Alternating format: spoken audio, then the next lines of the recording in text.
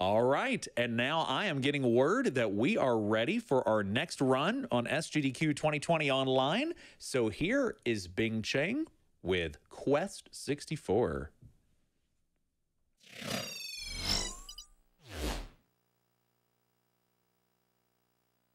Howdy, boys and girls. This is Quest 64. I am, uh, I'm Bing Chang, and I'm going to make mistakes live on the internet. I'm here with Jazzy, my commentator. Hello, everyone. I'm here just to help Bing Chan with this run. Hopefully, it's going to go very well.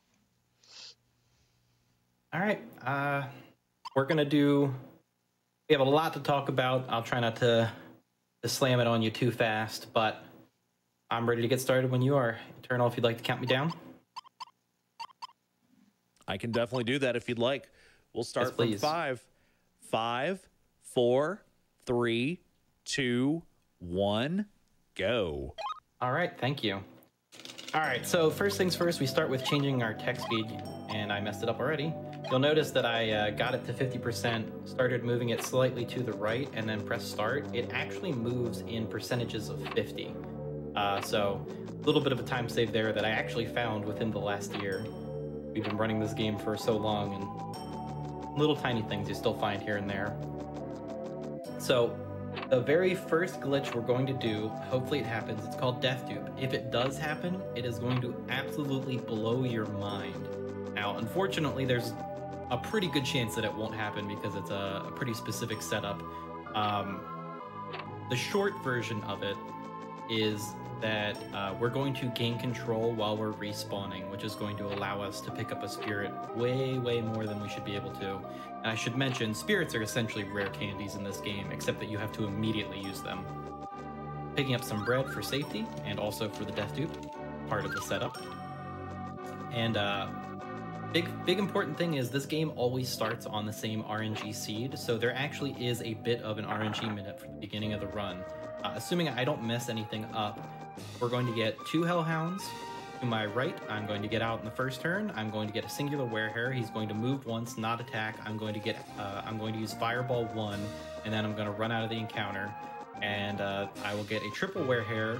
It will, uh, I will get out the first turn, and then I will get a singular Werehare, which will either be, or not Werehare, Hellhound, which will either be behind me, to my right, or in front of me.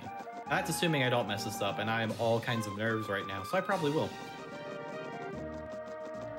All right. This is uh, uh, our hometown. Us being a small 10 year old child going out to uh, save our father.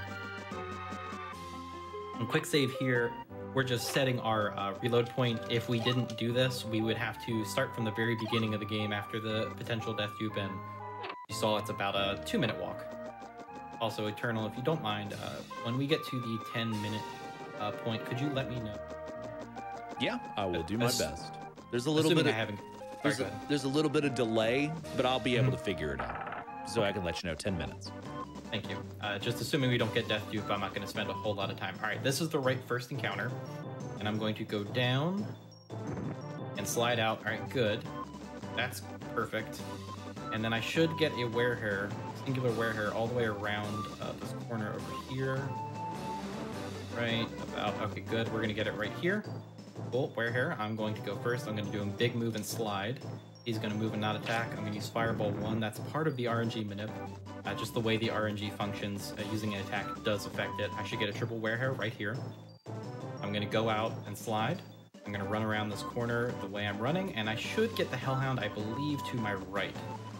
No, no, we got the one in front of us. This is the second one.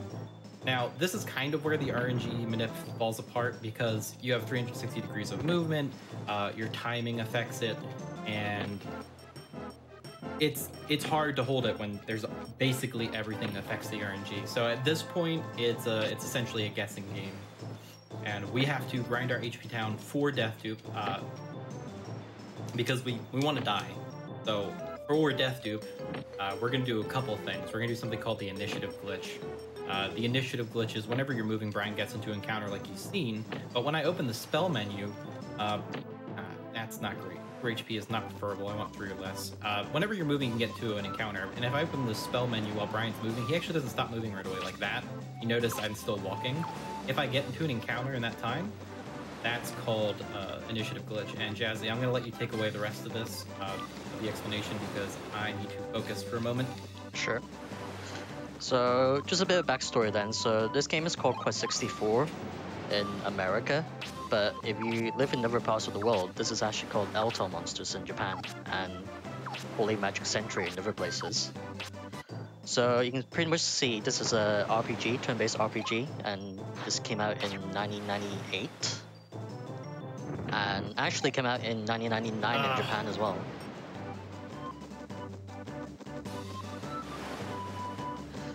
So backstory, so the story is set in Kellan. Oh, do you want to? Yeah, I'd say that was all the setup for what Death Dupe should have looked like, except the part that I didn't die. Um, so essentially, you initiative glitch into an encounter. You have low HP. You get an encounter that's faster than you. I have. Oh, I still. I can still do that encounter. So let's try to get that again.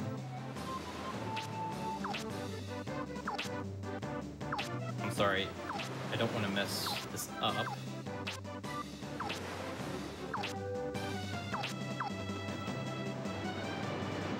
I want to die. I want to have my uh, item menu open. And when I hear the death audio, I'm going to use the healing item. The game goes, well, I guess you have control of your character uh, while you're dying. And if you get out of the encounter quick enough, you have eight seconds to just sit and mash away. And it, it looks crazy.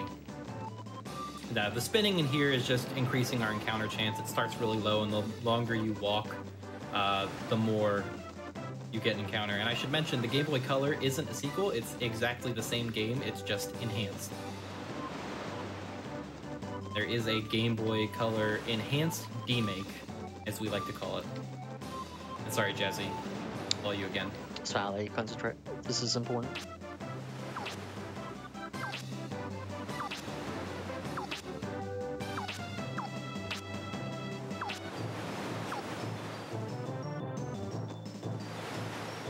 Right, okay, so as you can see, this place is called Kellan, and our protagonist is called Brian. Or if you play on Japan, it's called Jean-Jacques. Or if you play on Holy Magic Century, it's called Aaron. So the story is quite straightforward. It's essentially Brian sets off to find his dad. He's off to get the Eltale book. And then pretty much as we go along, we'll try and fill in the story as we, as we keep going. So since the last time this was a, a, a GDQ, I think it was SGDQ 2013, which was a race between KirKU and Peaches. let me cut you off real quick there. Yeah. So what happened there is the first frame of movement for the initiative glitch, you have to be moving uh, before I can open the spell menu. And that's, you can get an encounter in that one frame, and that's what happened there. So I couldn't do uh, the initiative glitch uh, setup like I would normally. Getting close closer.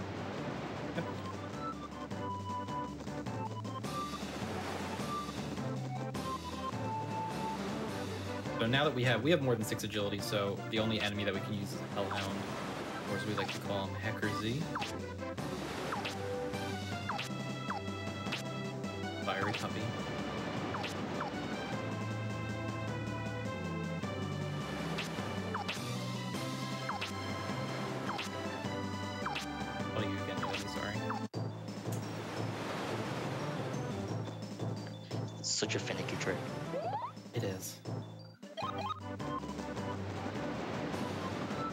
I was just saying, so the last time this was run at GDQ was in SGDQ 2013, which was a race between KirKU and Peaches. Uh, that time though, that was played on the, on the Japanese version actually, and as you can see, we're on the, the US version this time. So again, during the round, I'll explain the differences. There's quite a few actually, as Bing Chan mentioned in his interview earlier. But in terms of the world record for this, so back in 2013, this the world record for this category was 231.02 by Kirky. Isn't 222? Uh, no, that was that came a bit after. That came like a Ah, year after, okay. yeah. So Sorry. and then since well, well, seven years later now, the, the time's actually down to 121.18 by Bing Chan himself. So this is one of the main reasons as well. This having this death dupe glitch, and Other things were found as well, actually, around 2015, 2016 by Script Epic. So, like I said, you'll you'll be able to see in this run a lot of glitches and, and see why we can save almost an hour, well, more than an hour actually from the run. It doesn't matter. I'm faster than them. All right, we'll do we'll do like one more encounter.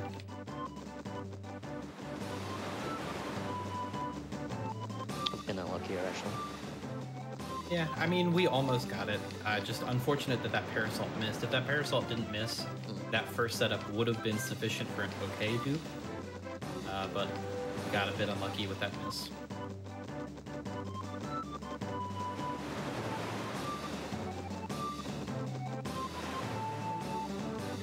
One last encounter. We should probably, that'll probably get us to about the 10 minute mark, I think. Okay, we got one.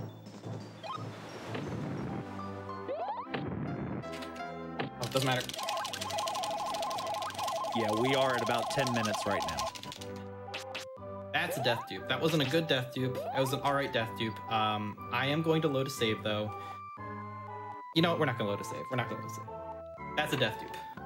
Alright. Well done. So That's- Thank you. The very first thing I'll explain Death Dupe in a second. but We're gonna come. We're gonna come back to it because the very first thing I'm going to do after this is something called the agility glitch.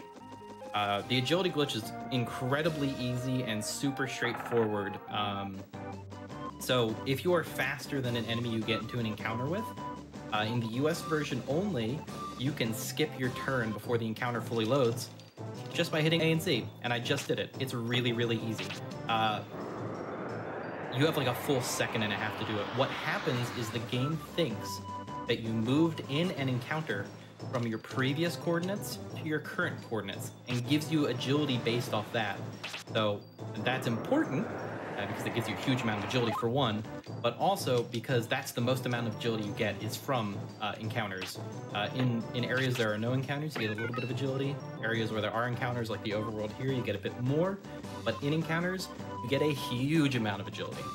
So we're going to take advantage of that. There is an agility route that we're going to be using, and you're going to see me going in and out some areas, uh, particularly the next dungeon. I'm going to go out the, uh, back and forth a bunch. Now, the other thing I'm gonna you're gonna see me do, like I'm doing right here, is something called Soul Searcher 2. This is our MP grind spell. Uh, we want to have 21 MP by the time we get to Guilty, uh, and the way you get MP in this game is by landing spells. Excuse me. And uh, Soul Searcher 2 always hits all enemies. Um, it's actually turns out that the spell's bugged, so it always technically hits. It's the the the effect of the spell, whether that hits or miss. That's completely irrelevant because the spell hits, so we get experience based off that. Every time, I'm I'm going a little in reverse here. Uh, for MP grinding, so every time a spell hits, so like Windcutter 2 use, hits uh, shoots three things. Each of those, if each of those hits, you get MP experience. And it's the same idea with Soul Searcher 2. For each enemy and encounter, you get experience. Now, Death Dupe. What you just saw that was bonkers. So, low HP. You want to get into an encounter with an enemy that's faster than you. You want to do an initiative glitch. Uh, on top of a particular spirit, the one you saw, about a second into the encounter, I'm going to use a spell. You saw the enemy teleport across the arena. That is just a side effect. It is super convenient that it happens though. I'm going to open the item menu, uh, hopefully be standing out of the encounter. In that case, I wasn't, but I was close. Uh, I want to take lethal damage with the item menu open. Uh, once I hear the death audio, I will then use a healing item. The game goes, excuse me, what? And you have control of your character while you're respawning. And if you're out of the encounter, you have a full eight seconds to sit there and mash. So a task could theoretically get 96 spirits. My personal best is 71. Uh, that was, uh, what was that? That was a 37, 36? 39 and no. uh, 30 and the 7, so 46, I think. Oh, 46. I can't do math right now. So that's not bad. Uh, if this was a, a serious attempt, I would actually go with that, but I would be uh, probably a bit more aggressive in general. Alright, so you notice our agility is now up to 15. We started with uh, 5 at the very beginning of the run. I want to have 16 going in here, which looks like we're actually going to hit, which is super unusual. If I get an encounter right here, I'm going to take the time to get. Oh boy. That was the Death Dupe is really the uh, the reset point for any percent. I've I've spent hours uh, just resetting there. All right, we have 16 agility. I'm going to do the old exit return clone here on these spirits. It looks similar, except I don't have to do all that funky setup. I just cast exit or return. You can get up to six spirits out of that. So I guess I should talk about how the mashing uh, functions. So for picking up spirits, it's one frame to just press A or Z to grab the spirit, and then it's an additional frame to just uh, place the spirit. So if you could alternate frames, that would be optimal. Optimal. All right, so what I'm going to do here is I am actually going to do a defense grind um, because marathon safety. If we didn't do a defense grind, there's a couple enemies in the end game that are going to be faster than us that would kill us in one turn, and we have zero control over it. So uh, let's talk about how defense and HP work. In this case, defense is the amount of hits you take. It doesn't matter how much the damage is, it's just the amount of hits. Uh, HP, same thing, it's the amount of hits, but it's also, uh, if you melee an enemy, you also get a bit of MP experience, or uh, you get a bit of HP experience. You also get MP back, one MP. It also only takes effect when you leave the battle as well, so even, even so. Oh, you talk. Uh, so actually, Oh, yes the- and no. Yeah, gone. So when your defense goes up, it, uh, specifically defense and agility, if they go up in an encounter, the game doesn't check that until either you leave an encounter or you um, you use a spell or an item that affects that defense. So I used spirit armor, uh, and that changed my defense. But now you notice he's doing one and two damage. If I hadn't used spirit armor when I did, he would still be doing three and two damage, even though my defense has gone up to the point where he does one or two damage. So unfortunately, because we didn't get a high enough death dupe, I'm going to be a little weaker than I would like to be. That's not a big deal. We're just going to be a little safer. But that's the thing, the Death Dupe allows us to have Spirit Armor early as well, and it lets us do a lot of stuff earlier than, Yes. than we would be able to. Yes, yes, yes. Death Dupe allows us to make Solvaring an absolute joke. For those of you who played this game, you probably remember the first boss Solvaring is uh he's mean. He hits really hard. Uh he also doesn't like to miss. So there's an emote that I have in my channel uh that's called Solverect because uh the old any percent he used to destroy us a lot of the time. Nowadays, uh, Solvaring gets destroyed. So the, it's funny how the emote has uh, changed meanings. Yeah, that used to be the biggest reset point for, for a run, around the 15, 15, 20 minute mark, I guess, up to that point. Mhm. But now, now Yeah, it's it- now it's Death Dupe, which is a lot, ear a lot earlier, but obviously a lot harder to to achieve as well. Feeling to be safe.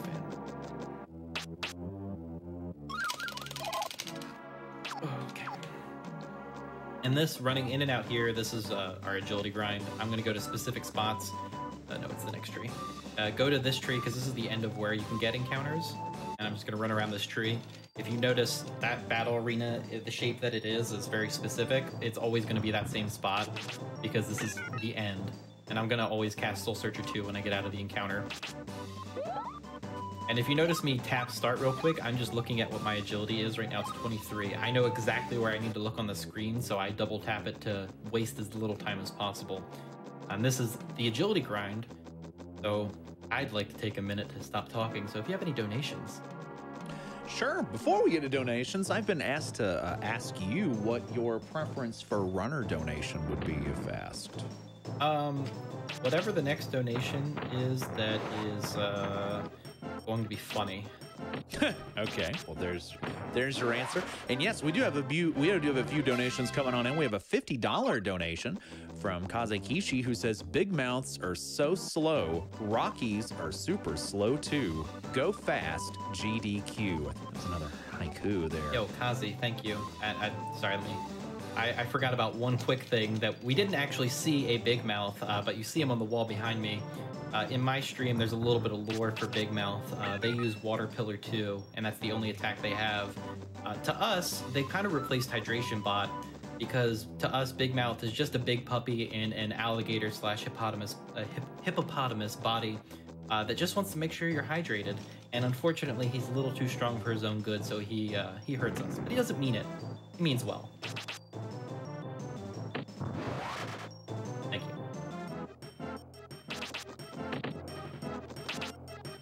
Got any more. Oh, yeah, there are plenty. There are plenty.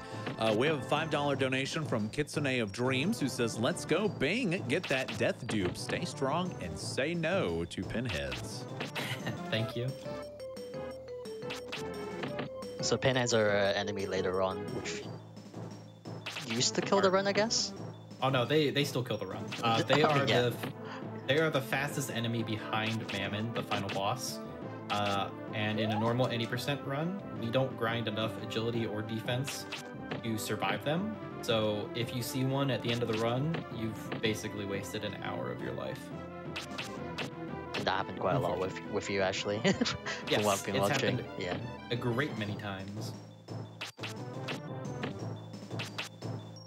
I want to get to 63 HP or defense, and if you got any more donations, go ahead we have a big one here. We have a $200 donation from Ace69 who says, Super excited for this Quest 64 run. I loved this game when I was younger, less than three.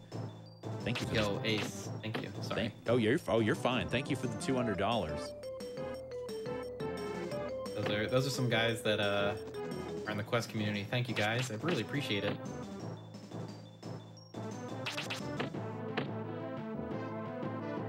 If you notice, I, I guess something good to mention right now is that the, it, you know, 3D uh, movement in a battle, you can actually dodge spells and the like. And I'm actually, in this case, I'm moving in a particular manner to get hit by all three of the Windcutter 3. But if I really wanted to, I could actually dodge all of it as well. So we've, we've hit the uh, defense HP grind for the first part. There's going to be one more little later. But that's going to be sufficient for now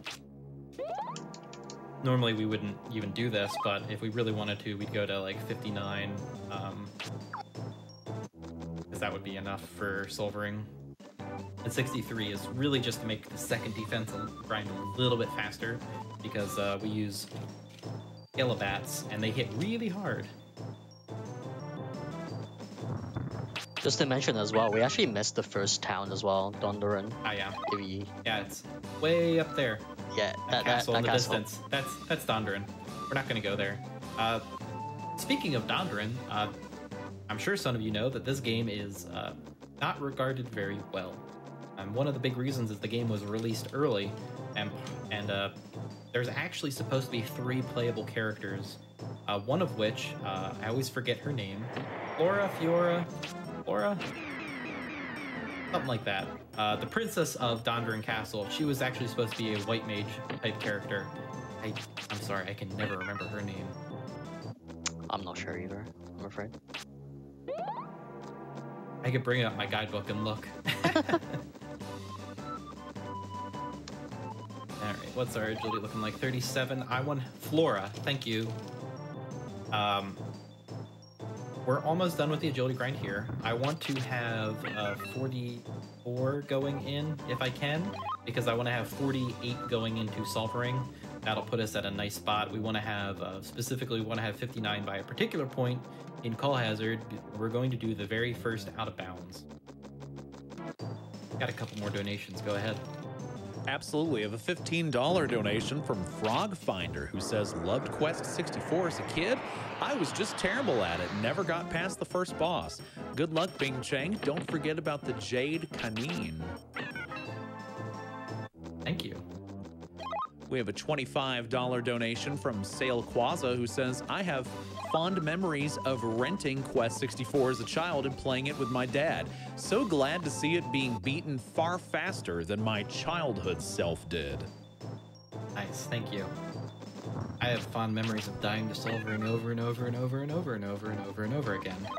And also of the uh, the old tip where you type uh, you tape down your uh, your thumbstick in a town and just let your character run in circles Thankfully, we don't have to do that now. We can just do the agility glitch and completely skip all that. Saves a little bit of time. We're picking up these boots for way later in the run. This is going to make another out of bounds really, really easy to set up. Our agility is, uh, scraped my teeth. our, our agility, our agility is really good. Um, we're going to make our way to Solvaring and just uh, show them what's what correct me if I'm wrong. This was one of the first games that required a memory card as well, right? Uh, maybe. I don't actually know that. because I didn't used to own one, and I had to play the first part of this game many times until I actually got a memory card myself. Fair. I, I think I played this a lot uh, on memory card as well, but that's also that was not the smartest. So I'm going to fight this encounter uh, because of the wow. Okay, I'm gonna fight this encounter because of the bats right here. They have a drop that I want. There's a 25% chance I've just missed them a bunch. That was terrible. Um, uh, they have a drop that I want called Celine's Bell. I didn't get it. It's a 25% chance to get an item drop uh, per enemy. I don't know. It's it's something really small. Yeah, um, I'm killing them. It just yeah, it just makes a uh, an out of bounds later very very easy. Let's actually line this up like this and hit both of them this time. Look at that. I think I know what I'm doing. There we go. That's the item I want. I'm not going to kill any more enemies. Uh, yeah, I'm not going to kill any more enemies. Not really going to go out of my way to do it. So these are three bats. I am going to take the time to Soul Searcher 2 because I want the MP, even though we're not really going to need all the help, uh, especially with the added defensive uh, grinds. It's just going to give us all that extra MP that we would normally need to get a bunch of encounters for. Alright, so our agility is a little low. There is uh, a bunch of backups. Nice, a five bat encounter. You, the most you can get is six, and you'll notice uh, with a bunch of enemies. Oh, I just cast the wrong spell. Uh, it gets a bit laggy. Uh, so I'm turning the camera by holding B to face away from them, like this, and you, it's a lot less laggy. We're gonna do that casting Soul Searcher uh, 2 as well. I should have cast twice, but I'm talking and not paying attention to the buttons I'm pressing. Right, You and we're agility glitching this entire way. Sorry, go ahead. yeah, you mentioned about the items as well. So you only get the drop if you don't have it in your inventory already. That's the thing. Yeah, Unless I you- fixed that in the JP version. yeah. So If you have, sorry, go ahead. yeah, so JP actually came out a year after this, actually. So Quest 64 and Holy Magic Century came out first in 1998, and Quest actually came out a year later. Well, Altar of Monsters, I guess, came out a year later in Mhm. Japan. And there's a lot of changes actually. They they polished what is this game for what it is. Uh, they every time your stats go up, you get a nice shiny color thing. Um, let's see, red for HP, blue for MP, green for agility, and yellow for defense. Yeah. It flashes that color whenever that stat goes up. Our agility is good, and you notice there's a spirit there. We'll come back to that. We're gonna clone it when we leave. So we're heading towards the first boss now, Solvaring. Yep, this is Solvaring. Enough spirits? I don't remember. Uh, I mean, uh, for Avalanche. I don't think I do. I think I have 22. Or 23. Great. Alright, so he has 200 HP. We're gonna have to hit him. I could. Now I'm gonna have to hit him three times. So I'm gonna use Ice Knife twice. I'm gonna put him at about 110 or so, and then Water Pillar 3, and he's dead. So if you remember him being hard, uh, he's kind of a joke now. It's great. I love it. And pick up this uh, mint leaves a little bit later. You, prob- Solvaring, he's a joke. You probably saw as well, we also gain HP as well when we beat the boss. So Yep. depending on which boss you get, you get a certain amount. In the Japanese version, you get MP as well. So that makes this a lot easier. I'm so jealous of the JP version. They've made so so many nice little polishes, but they also ruined the two big glitches for this. They uh, they kind of fixed agility glitch. You can no longer just skip your turn when the encounter loads, and they also fixed cloning. Uh, there's a forced animation every time you pick, pick up a spirit. So exit return cloning, you can get maybe two, whereas US you can get six. Death dupe, uh, US 96, JP 17 maybe. Oh, this is another exit uh, clone. I'm just aiming for four there. Another four, and we're looking good. Uh, our agility is fine. If I have to, I can get. There's some backup spots where I can go out of my way a little bit to get a bit of extra agility. And I don't think we're gonna need to do that, but it really depends on the encounters we get along the way. I want encounters at the optimal points uh, along the path to maximize the different distance between encounters, giving us the most agility.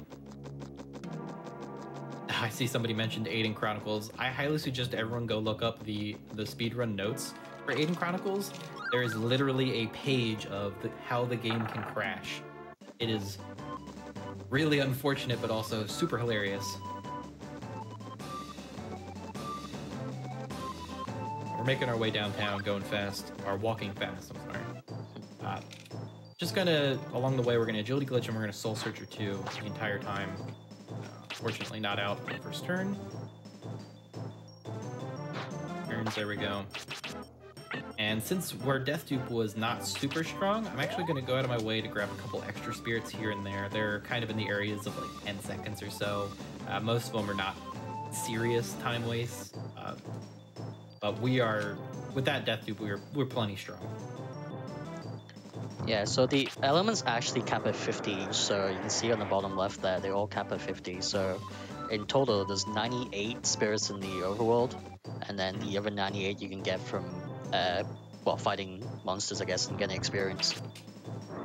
Or cheating and using Death- glitches. Or Death Dupe, yeah. Um, so you notice that I stopped putting uh, water in past 40, and that's because that's really more than enough. Uh, we our heal is strong enough. We have all the spells we want: escape, soul searcher two, heal two, exit, return, uh, all that fun stuff. And then we're gonna start putting stuff into Earth. So we could have just put stuff into Earth immediately, except that uh, Solvaring is Earth. Even though we kill him really quickly, it doesn't really matter. Uh, it just makes him a little bit safer overall. We don't have to worry about avalanche RNG. And by the time we get to Zelse, we'll have enough Earth to be using the spells that we care about anyway, which are in uh, no particular order Magic Barrier and Avalanche. Uh, Magic Barrier makes us invincible to all spell damage for at least two turns. It can go up, I think it can go up to four turns in the US version, but it's super unlikely. Um, and then the OP of all OP spells, Avalanche. So the highest base damage spell is Avalanche. The second highest base damage spell that we have access to, of course, is Large Cutter. Large Cutter's base damage is, I believe, 420, and Avalanche's base damage is 440 or 460. Uh, but the difference between those spells is Large Cutter is exactly one projectile, and Avalanche is a lot more. You can hit a boss up to seven times. So just that base damage, seven times. It's a little bit strong. Just a just a tiny tiny bit. and you actually get it quite early as well in Earth. Yep. Yeah, you get Avalanche at 24, you get Magic Barrier at 36. We're also going to make uh, use of a couple different spells. Uh, Spirit Armor, you get at 14, and then Spirit Armor 2, I actually do not remember where you get that, uh, what level. I want to say it's like probably around 20. Um, and then we're also going to use something called Confusion. Confusion is uh, pretty standard RPG spell. Whenever you take damage, you get MP back. It's usually not necessarily called Confusion, but uh, getting MP back from taking damage I feel is a pretty standard RPG spell for this type of game. Spirit Armor level 2 is 21. You got a 21. 21? Yeah. I was close. A good guess. I actually didn't know. I know Soul Searcher 2 is 34 water. So that that's why we kind of go to 40. A nice even number. And also we have Soul Searcher 2. I should mention there's a I think there's a couple RPGs that were released on the N64, specifically the US. Uh, Quest is the top five. I think there's only four. Um, so take that as you will. that's my favorite description of the game. Top 5 RPG on N64. Which is strictly true, I guess. All right. So we zoom out here. Turns out you can zoom out if you press L in the overworld, so it doesn't lag. So this save here is more muscle memory than anything, and also because I want to be a little safe. This isn't much a save as it is a quick save to kind of set our reload point. In a normal any percent run, we would uh, use that as a death warp spot. There's a new glitch that was discovered recently that uh, kind of eliminated that, but it's not faster than the original route. And I've been I've been using it in runs just to just to go a little bit faster. All right. So this is an area where I'm going to try to look away from the enemies, but there's just spots that if you even if you look, no matter what direction you're looking, it's going to lag because of the water flowing under the map. It's pretty unfortunate. And we're gonna head over to Larapool. We're gonna grab some blue wings. They are your town teleportation item. Uh, it's just gonna be a little quicker to get back here after we beat up on Zeus, the next boss. Yeah, so every town has a has a wing, different colored wing, and then you just use it, and then you get teleported back to the town. Yep. And- White, yellow, white for, or sorry, white for Melrode, yellow for Dondoran, blue for Larapool, green for uh, Normoon, red for Limelin, and black for Bernal. If you use it, you can just get it again, so it's pretty much infinite. They're one-time use items. You just have to go back and grab it again. All right. So you didn't really notice this before, but I'm going to heal and then talk to somebody. It actually cancels the healing animation a little bit faster. It's kind of the same as like uh, something that used to be used a lot more in the run. Not so much now because we heal for so much, but when our heals were a lot weaker, weaker, uh, we would do something called heal chain canceling. You'll still see it if I cast heal. Uh, you just keep casting heal over and over and over again, and at the end of casting heal, you actually just mash A and Z, and Brian's animation of shaking his head like there's nothing there is faster than watching uh, the heal animation play out, and you get control of your character just a little bit faster. Uh, it saved probably in a glitchless run, it saves maybe 15 seconds over the entire run due to the amount of, t- amount of time you have to heal. This run, uh, not so much. Saves time, but you know, is what it is. We're making our way to Cull Hazard. The, for the first out of bounds, uh, we're going to do something called the Battle Arena Clip. Uh, if you notice, our there's two battle arenas. There's the big one, the yellow one, that's the entire battle arena, and then there's the blue one, which is our little movement uh, arena in the battle arena. We're going to take that blue area and set it up in such a way that we can walk out of bounds. And I will warn you because it is going to be very, very quick. Blink and you miss it quick. Got a dono or two? Oh, yeah, we have a lot. Uh, we have a $50 donation from Zach God who says, Great death dupe time. Good luck, Bing. Hacker Z. Thank you, Zach. We have a $50 donation from Epidel who says, Had to donate during Quest 64, a game I loved as a kid, but never beat without a Game Shark. I've already learned a lot about its mechanics I never knew. Looking forward to seeing it destroyed. Thanks for all the runs and to everyone behind the scenes at GDQ. Thank you for that dono. Yeah, I think the first time I actually beat this game, I used the Game Shark as well. I never, I didn't beat it legit until I was probably in college. Same for me, actually. I beat this when I was quite a bit older as well.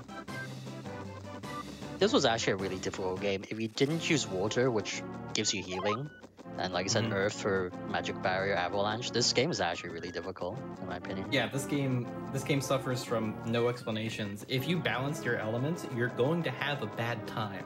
I There's did. really no other way around it. I did that But if you maxed one, eh, you'll be okay. Fire is definitely the worst uh, because second, the later half of the game, all the bosses have fire, or are uh, half. They take half damage from fire, so fire gets really, really, fast. Wind is just solid throughout the entire run, but just nothing compares to avalanche. All right, so we probably will have to do the extra encounter out of bounds for a little extra agility, but that's not a big deal. Um, the next singular Skelebat, I'm going to do a bit of another defense grind. It's going to be faster because their animation is faster. They also hit way harder, so I have to make sure that my Spirit Armor 2 uh, stays up pretty much constantly. Got another dono? Yeah, sure do. We have a $25 donation from Nick12 who says, My wife has fond memories of hating this game. We are happy to see it being torn to shreds. Thank you. Thank you. Oh man, yeah, I totally understand that.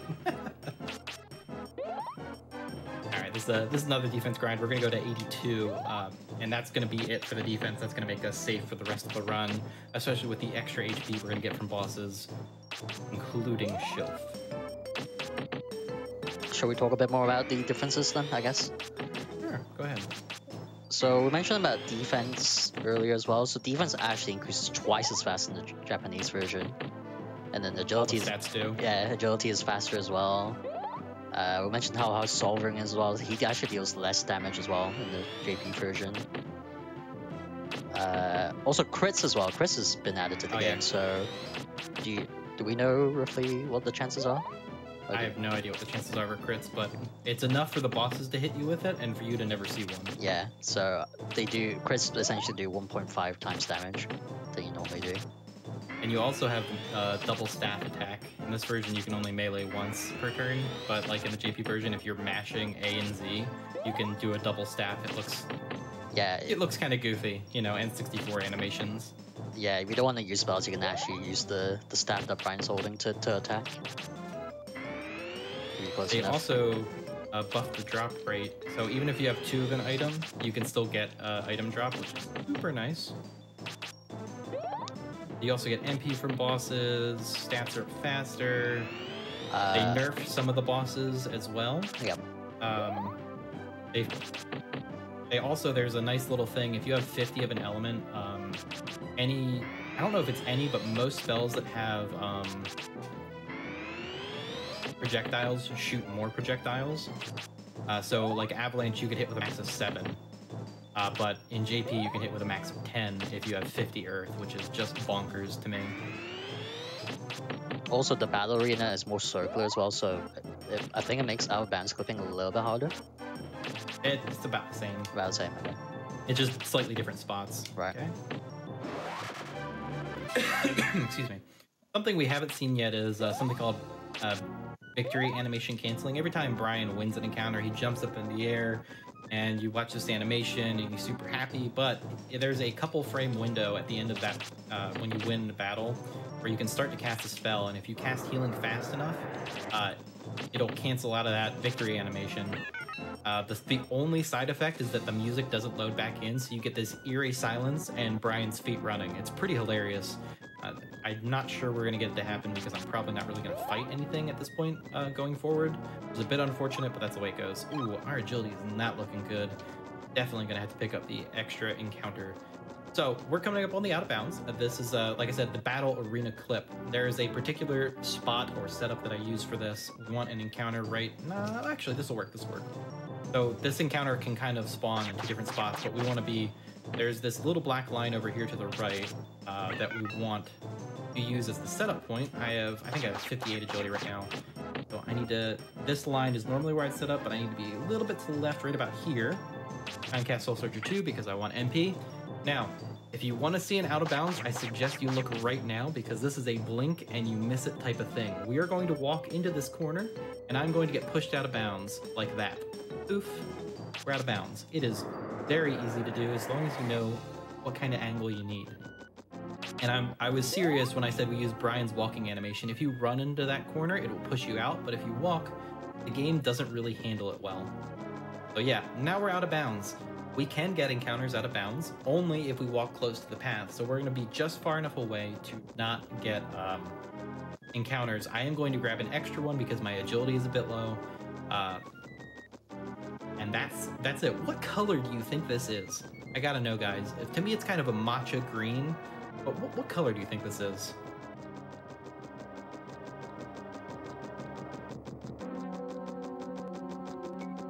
And if you got donos, now's a good time. Oh, yeah, we've got plenty. There's a lot of love coming in for this one.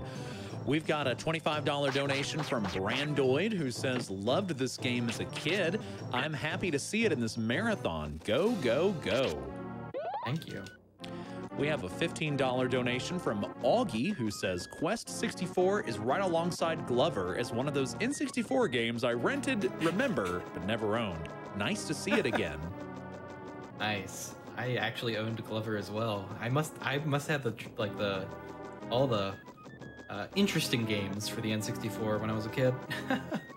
Games with cult followings. right. You got more. You got another uh, probably like 50 seconds. Okay. We have $20 from Connor Rican who says, I have to donate for the first N64 game I ever owned and eventually beat, even if the Mammon fight took two days. Nice. Thank you. Oh, there's the vine everyone remembers. It's over there. We're not gonna, fortunately, we're not gonna walk along it.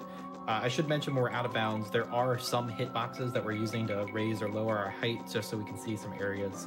Uh, if you got more, keep on going. All right, we've got a $10 donation from, from Carrot Kuro who says, Yo, Bing Chan, imagine my surprise when I checked the GDQ schedule on a whim and you were the next runner. Finish that quest, man.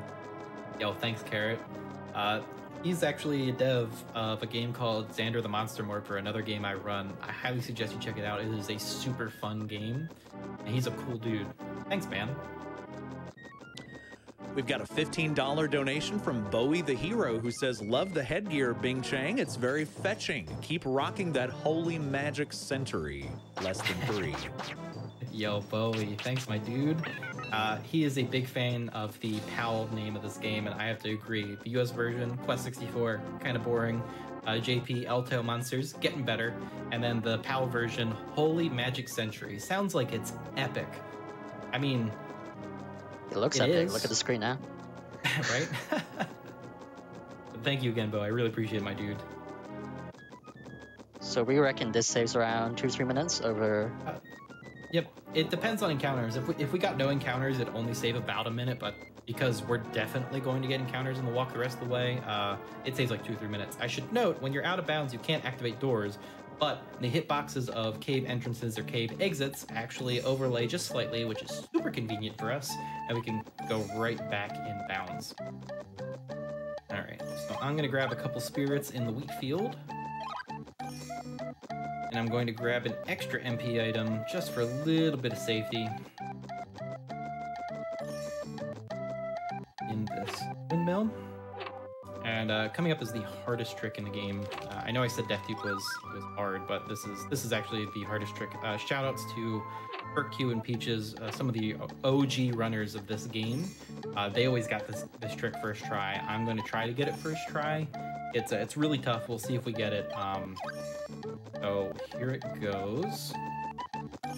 Perfect. Fence clip. First try. Awesome. You're well done. Thank you. Um, we're gonna go into Windward here. We're gonna clone this first spirit. And then we're going to make our way over to Zelse. We have 42. We're really good. Uh, minimum going into the Zelse fight in terms of spirit setup for later on some stuff. We want to have at least, I believe, 37 or 38 from what I remember. Um, I'd have to do the math out again, but I believe that was what I had uh, chosen before or calculated before. We're only going to agility glitch the first encounter here. We're kind of going to slow down a lot. I'm at 66 agility. We are perfectly good uh, for the next area. I want to have 66, no more, no less. We are this this dungeon is super duper small. Cull Hazard was kind of the big part, and this is just a little itty bitty part after the fact. Um, there is a bit of a scary enemy in here, but thankfully we're faster. They're called Lamaya. Uh, they use Wind Cutter 3, I think the only enemy in the game that does. That hits seven times. It also hits really, really hard. So uh, looks like we got lucky and avoided them. We only got three encounters. Usually I get about a bajillion, and optimally you get like one. All right, so this is Zelse. He's the wind boss. He has three attacks. He has a long range attack, he has a short range attack, and he has a mid range attack. We're going to start with Magic Barrier, which will now make us invincible. He's going to start with his long range attack, which we don't really care about. I'm going to try to sit in a spot to bait out his mid range attack because it is very, very easy to dodge, unless I kill him in one turn. Now he's going to need one more hit. So he walked up. This is the attack I don't want him to do because the close range, you can't dodge that. If he uses his mid range, which doesn't matter because he's dead. If he uses mid range, you can run forward or back and dodge it very easily. So that was uh that was Zelse. He was a boss, I think. Yeah, so he has 680 HP, and then obviously with the Death Dupe, we're, we're quite powerful. We beat him, what, four hits, I guess? Yeah, he's also weak to earth since he is wind. And that's this is where we use the blue wings to come back. And now for my personal favorite part of the game uh, is Blue Cave. Well, not Blue Cave, right before Blue Cave. It's Larapool. So when we get the, uh, I think it's the the jade, the wind jade. The Wind Jade, yeah. Uh, yeah, we're supposed to talk to Layla in this room to lower the water, but as it turns out, this door is actually the trigger to lower the water. So, as it, to me, Larapool is actually just a giant toilet, and we have now flushed Larapool so that we can go into Blue Cave, the sewer system of the game. I should mention, I really do not like Blue Cave. yeah, in that room, there's actually an NPC there, which we didn't. We don't actually need to talk to them for it to lower. We just need to enter the door and then and leave, basically. And this is the There's s- al- so-called next dungeon, I guess, Blue Cave. Yep. Yeah, this is the next dungeon. We'll put that in quotes because we're going to go out of bounds immediately. And we are going to skip the entirety of this area. So I have, I have a little bit of setup, and once we get into the encounter, which is random, when we will get that encounter, we will go out of bounds. And I have the right amount of agility, 66. Perfect. I know exactly where I stand. I just need that encounter. And this is uh, an okay encounter. So there's these three dots right here. There's the one I'm standing on right here, right here, and right here. They form a nice little triangle. And if I stand right here with 66 agility, cast magic barrier so I don't take damage. And again, blink and you miss it. We're gonna walk into that corner up there, and I'm gonna clip out of bounds. So, you want to see another out of bounds? Here we go. I'm out of bounds. And then we have to hope that escape plays nice, which isn't going to. Right, there we go. So these each are kind of individual planes. So I actually have to clip from plane to plane. The first two you have to clip by walking at the wall, like this. And the last one you just walk along the wall. And we are now completely out of bounds in Blue Cave. And as it turns out, Blue Cave, even as big as it is, the entire area is loaded. We are going to skip everything. So Blue Cave is probably like a 10, 11, 12 minute split. This is now going to be about two, three minutes. It's a little bit of a time save. Yeah, it's a much much bigger time save than Cull Hazard was. And you can probably see that you can probably see it as a pattern as well going on with these dungeons and what we're doing here with with these out of bounds as well. Mhm. Like back in S- SGDQ 2013, like we'll see Kirk here and Peaches walking through, but we don't have to do that anymore. Yeah, and they talked about how the, they think this game is well programmed, uh, and it, it, for the most part, is. There's just unfortunately some stuff they forgot to cleanse or check. Uh, but very convenient for me, so I can do this. And now we're going to walk out of bounds for about a minute and 45 or so. Uh, so if you got any donations, now's a good time, and I'm going to hydrate. All right, we have a $15 donation from Observant Churro, who says, Was never able to play this game for more than an hour as a kid without rage quitting. You're a good person for breaking it in front of all these people. Thank you. $25 from Shifter, who says Quest 64 was so frustrating to me as a kid, but I love the design of it from the monsters to the music. I look forward to seeing it broken without a Game Shark.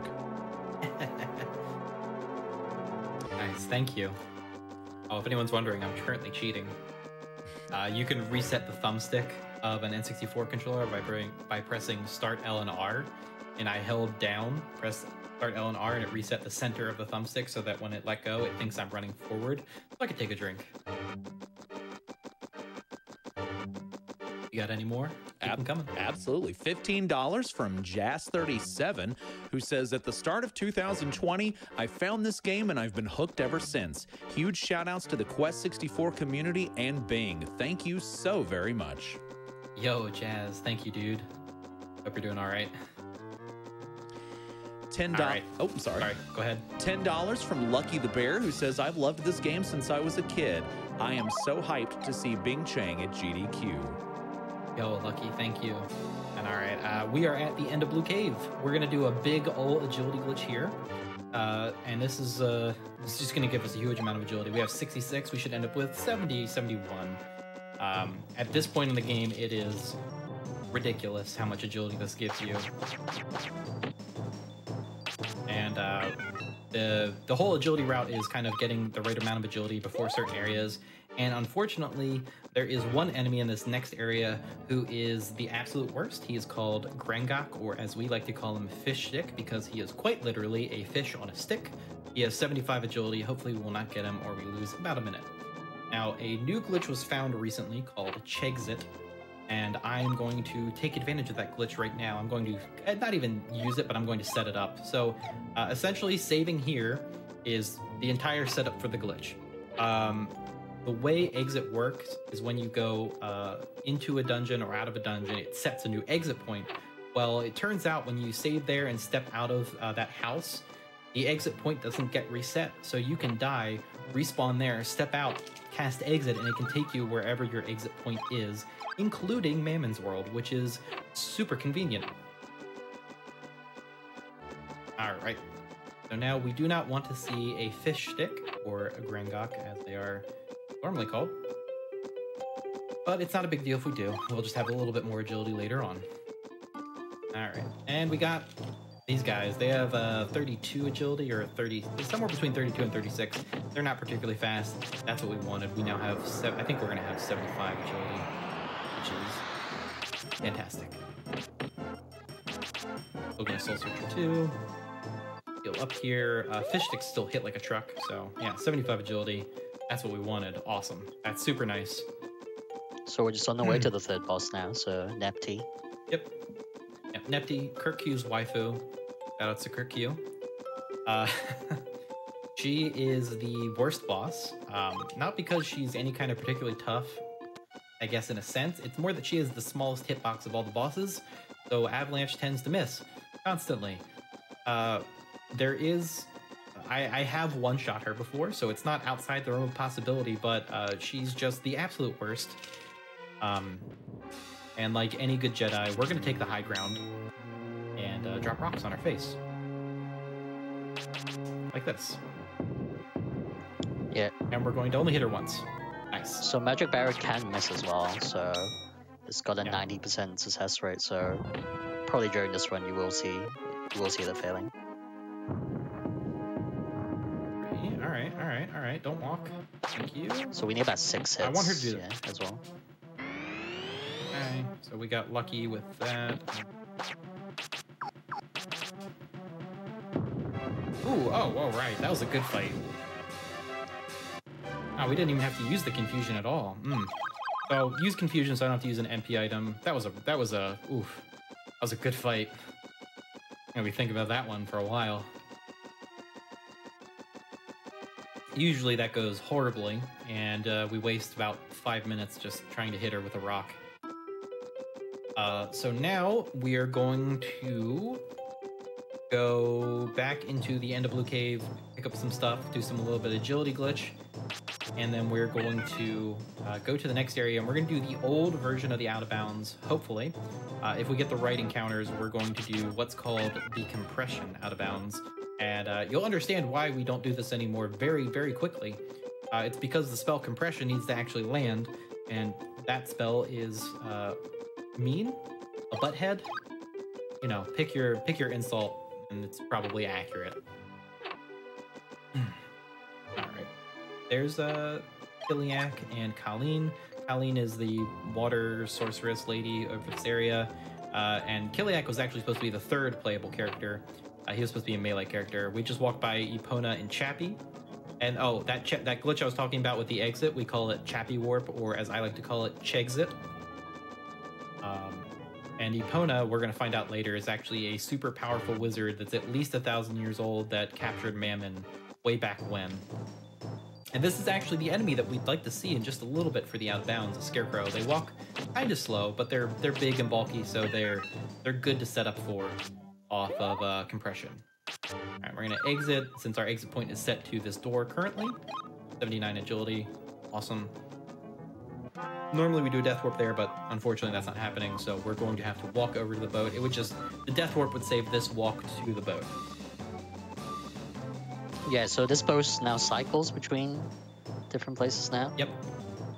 It cycles between three places, uh, west West Carmel, East Limelin, and whatever the Dondoran area. I can never remember what that's called. Dondoran Flats. Dondoran Flats. Yeah. yeah. Also, for anyone that wants to learn this game, uh, I'm I'm bad and I haven't written accurate current notes. So please at me on Twitter in Discord on any Twitch stream that you see me. Just at me until I actually sit down and write the notes.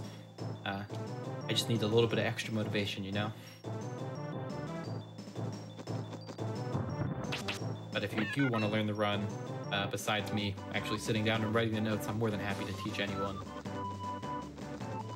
Yeah, at this moment, you're probably the only runner for this category right now.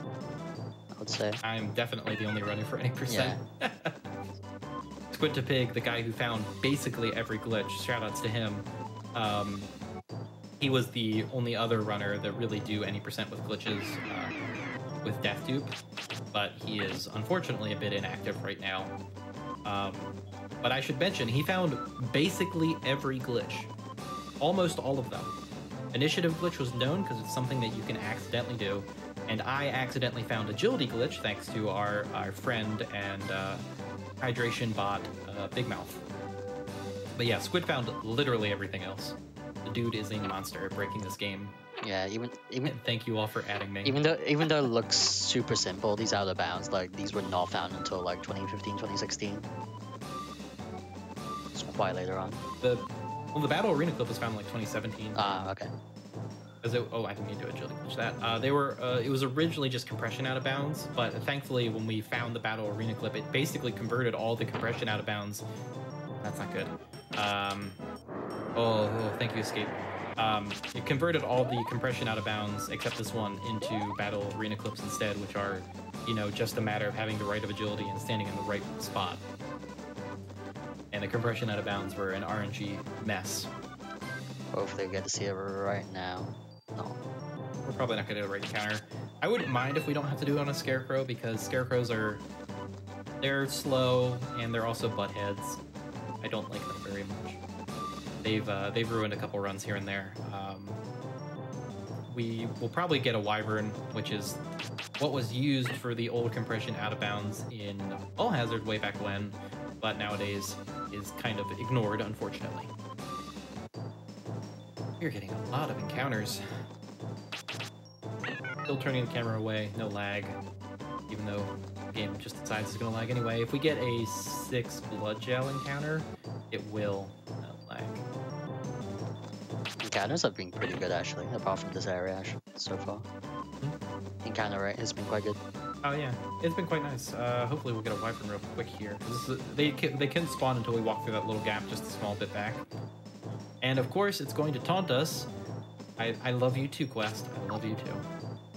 Alright, so we're going to have a ceiling spell. I'm going to take that guy out. I'm going to walk this guy up against the wall. He's gonna hurt me a lot. Oh, I don't have compression. Never mind. I can't do this. I need one more spirit. I for- I know what I did. I forgot to clone the one in uh, the end of Blue Cave. Whoopsie daisy. Oh well. We cannot do that out of bounds. Yeah, we're one off. Yeah, you, compression is 19 fire. Oh, look at that. The game is now just just talk, uh, mocking me. I, I appreciate you too, Quest. Appreciate you too. If we did do this out of bounds in this area, if it's done optimally, it saves uh, about. It can save up to like a minute and change, but that's if it's done really, really well. Usually it's about even, but it's just safer because there's less encounters. Eh, it's not the end of the world. Yeah, this is You get to see this little area. this is the best one to miss as well, I would say. If you were- Yeah, this is the one that really doesn't matter that much. We also walk past the Limelin as well. One of the one of the towns is, again. Again, it's just a lot of spirits there and a lot of items, but we don't need that Yeah, in this there's- run. There's what was that? One, two, three, four, Six, five, six, seven, eight, nine. Nine spirits. Nah. Yes. I just counted them in my head. Sorry. I, I visually remember where every spirit in this game is because I've played it so so so so much. Yeah, so all spirits is actually a category as well, which people do. So, as in the name, so you just pretty much grab every spirit in the game. Yeah, it's our version of uh, 100% because there's really not really much else to track. Maybe chests and stuff, but yeah, it's not a big deal. All right, so if we had gone out of bounds, we actually would have come back in bounds right here. This, for whatever reason, this pathway right here conveniently puts you back in bounds because the entrance to uh, Tunnel is a door that you can't open from out of bounds, which is super convenient that that happens to be right there. Unfortunately, it didn't happen, but that's just the way it goes. Grabbing some more items, and we're going to agility glitch the first encounter, and then we're going to do one of two out of bounds in the game that exist without us having to do any kind of setup. They accidentally left a couple corners in the game. Uh, one of them is here, but the one that originally inspired this out of bounds, as well as the battle arena clip, is in uh, Beigis's room, or as I call him, Bogus, because that's what he is. Um, in Bogus's room, you can actually soft lock the game if you do that out of bounds when Bogus is dead. You cannot get out of that room. You cannot cast exit. You cannot cast return. You cannot use any items. Uh, both exits are doors. You cannot clip back in bounds. I accidentally agility glitched again. So don't go out of bounds in his room. Uh, also, in Blue Cave, I forgot to mention this. In the Blue Maze portion of Blue Cave, right before the end, the ascent to uh, the exit, there are uh, there's an area with a bunch of skelebats. If you get to that area, do not use a rock shower. It will hard lock the game. Don't do it. If you want to do it, make sure you save first, because it, it it will crash the game. There's no getting out of it without completely turning off the console. Do we know the reason for that actually? Why? Uh, presumably because Blue Cave is a huge area and Rock Shower and Skelebats have a lot of polygons. So uh, the assumption is that there's too much on the screen for the game to handle, Right. or too much loaded for the game to handle. Makes sense. Uh, we would normally, in an 80% run, skip Shilf, but thanks to you guys at home, uh, we're actually going to fight her. And we're going to do it a little differently. We're going to, well, you'll see. I'll let you enjoy the little bit of a surprise. So this is the corner. You walk into the corner. If you want to see an out of bounds, here it is. Walk into the corner and slightly turn left, but I'm messing it up slightly. Do it. There we Got go. it. Well done. Oof. Out of bounds. So this was one of the first ones, right? As well. Yeah, that was the very first Battle Arena style clip. Uh, it was that one, and then we still use the compression, and then Battle Arena clip was discovered that you could use your own movement arena, and then uh, we did that. So unfortunately, the out of bounds are very visually uninteresting, especially this one. It's just a void. Uh, but there is a particular set of movements we will have to do to drop our height such a way that we can see the rest of the dungeon very easily. I could normally just run directly to the end and be fine, but instead we're going to drop our height. So I'm using that little stuff at the bottom right, and I'm going to run eastward. I should mention, your compass is your absolute best friend. When you are out of bounds, you will never get lost. I'm going to run until I zoom into a wall. I will know I've hit the wall because Brian will zoom into the screen really close. And then I'm going to run northeast using Brian's dust cloud when he starts moving. Every time Brian starts moving, he creates a little bit of dust cloud. Um, I'm going to use that going northeast like this. So let me know when I can go east again, which should be right about there. I'm going to northeast for a second, and then I'm going to turn southeast. It's going to hit a wall. There we go. And it's going to, I'm going to drop down in four, three, two, one, drop. Ooh, almost. Almost perfect. I always like to guess that. I've gotten it like exactly right two or three times ever. Usually I'm off by a full count or so. That, That was pretty close. that was pretty close. As good as it's gonna get usually.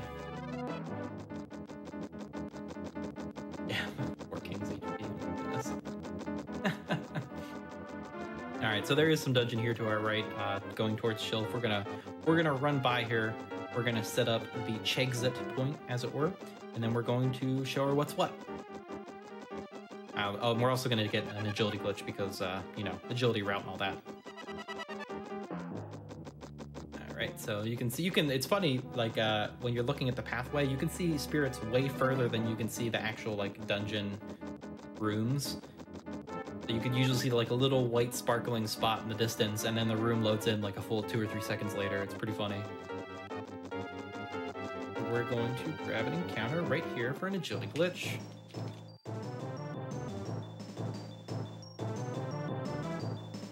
We're gonna slow guys, but they're not gonna hurt us, so that's whatever. Now, unfortunately, we can't fight Shilf from out of bounds, or we would have a bad time. But I will show you what it looks like. Be right there. Oh no, not quite. There she is. So that's that's Shelf Serena. Hi Shilf, how's it going? Hope you're hope you're doing all right. I'm just gonna walk through walls and you know I'll come back in a second. Wanna get a little safe, you know? So we think this saves around six minutes over uh, walking walking all the way through, probably roughly. Yep. Including skipping Shilf. You don't actually have to fight Shilf to complete the game. Uh, so we've now set the Chexit point. I am going to. I'm actually going to clone this spirit down here real quick. And I'm going to pick up an item. I should mention that you cannot clone chests, very unfortunately. Uh, if you do that, the, the item is just gone forever. So let's open up this chest first. The extra healing item. We're going to clone this one. Cool, exit point is there, and we're going to go fight Shell or Shill from behind. Now, the entire reason this is great is uh, just because because you enter the the encounter from the back and Shilf is just staring there. Oh God, he's behind me.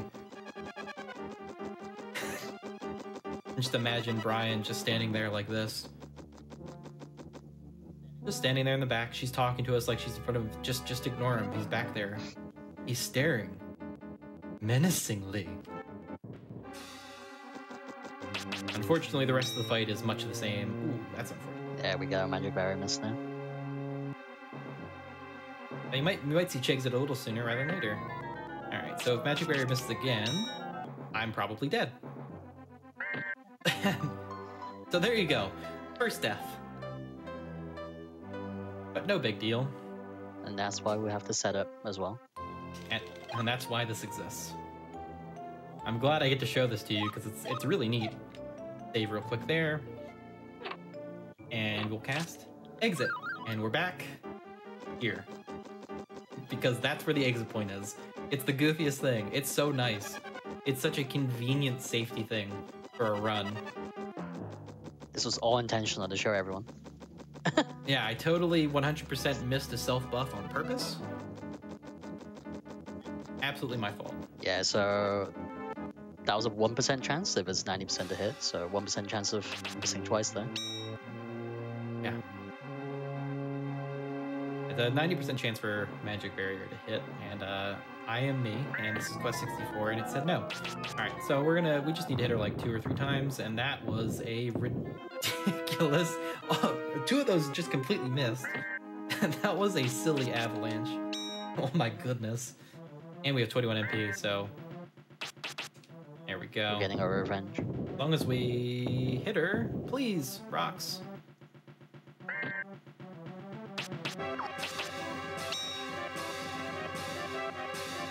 You see how good uh, Avalanche is when it, or Magic Barrier is when it actually lands. All right, Avalanche, what are you doing, buddy? All right, we are going to do the. It's gonna be a little risky. Use confusion. Oh, of course. So we're just gonna slap her one since I have a extra turn of that, and we're gonna hope Magic Barrier doesn't miss. Cool.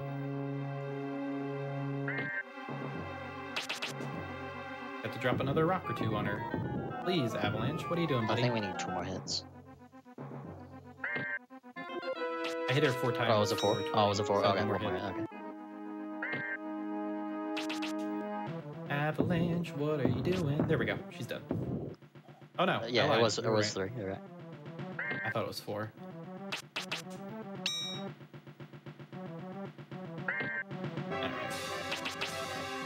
One more. Come on, Avalanche. You are not being friendly. Shoutouts to my fiance. Uh, Shilf is her favorite character in this game. We're going to do this. Dewdrop is just kind of an extra item. Oh, cool. Please miss. Okay. this is what you guys paid for. Look what you did to me. Uh, but thank you. And this is why we normally skip her. Yeah. Um, I'm actually gonna load that save because I want to have that dewdrop. That's the way it goes. Now you get to know what Quest is normally like. This is what I usually see. Is this? All things considered, this was probably about three minutes time we've wasted, which is not that much. Four minutes, maybe give or take. Ah, that's the way it goes. All right, let's let's do this again, Shilf. I know you don't like me showing up from the back, but let's let's uh, let's, uh, let's finish this up. All right. Okay, cool. There, we'll just throw a rock at her. It's kind of RNG. Oh, really? It's RNG whether she walks or not. There we go. It's RNG whether she walks or not, so uh, convenient when she does at first. One more. One more? We're gonna go for it. I'm gonna be. I'm gonna go for uh, a little bit of a cheeky avalanche. Oh, please. of course it missed.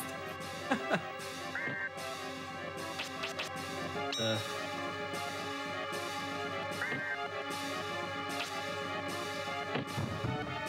Ooh, I thought she'd be dead. Alright, okay.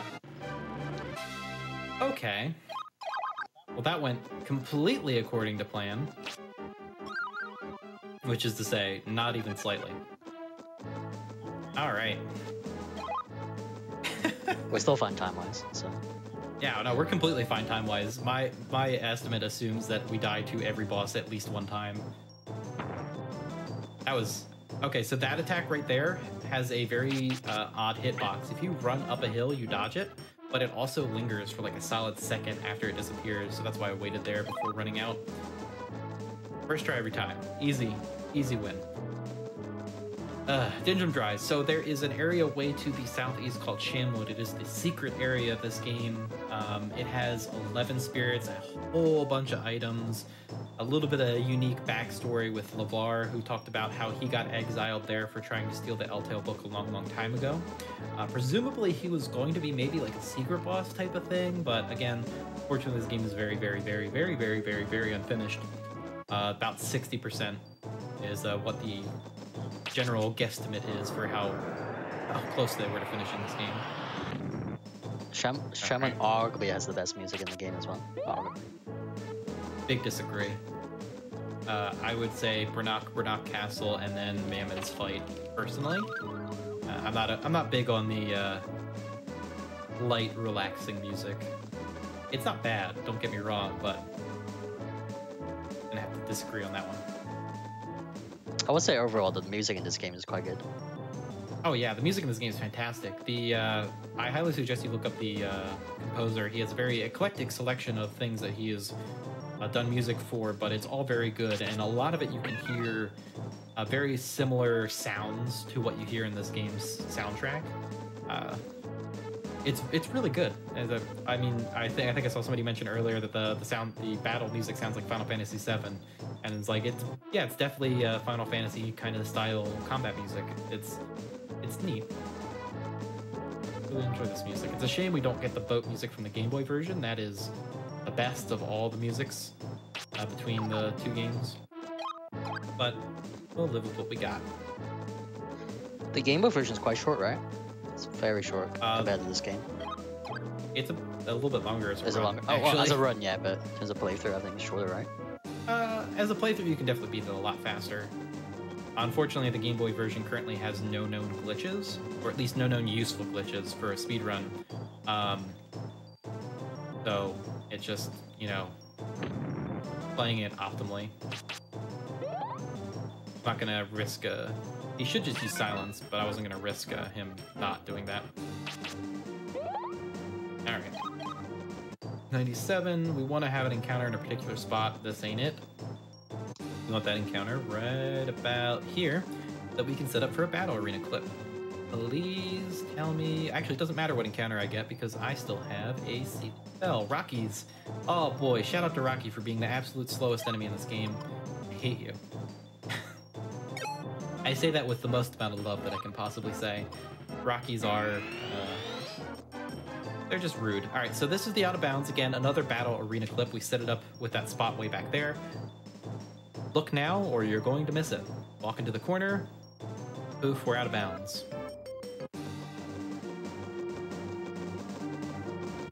Oh, and of course, unfortunately, I'm a little too close, so I got an encounter. but That's okay. Again, this pretty much lets us skip the whole dungeon and saves. Yeah, this skips the whole dungeon, and we're gonna skip Fargo as well. Sorry. Saves about six minutes, I think.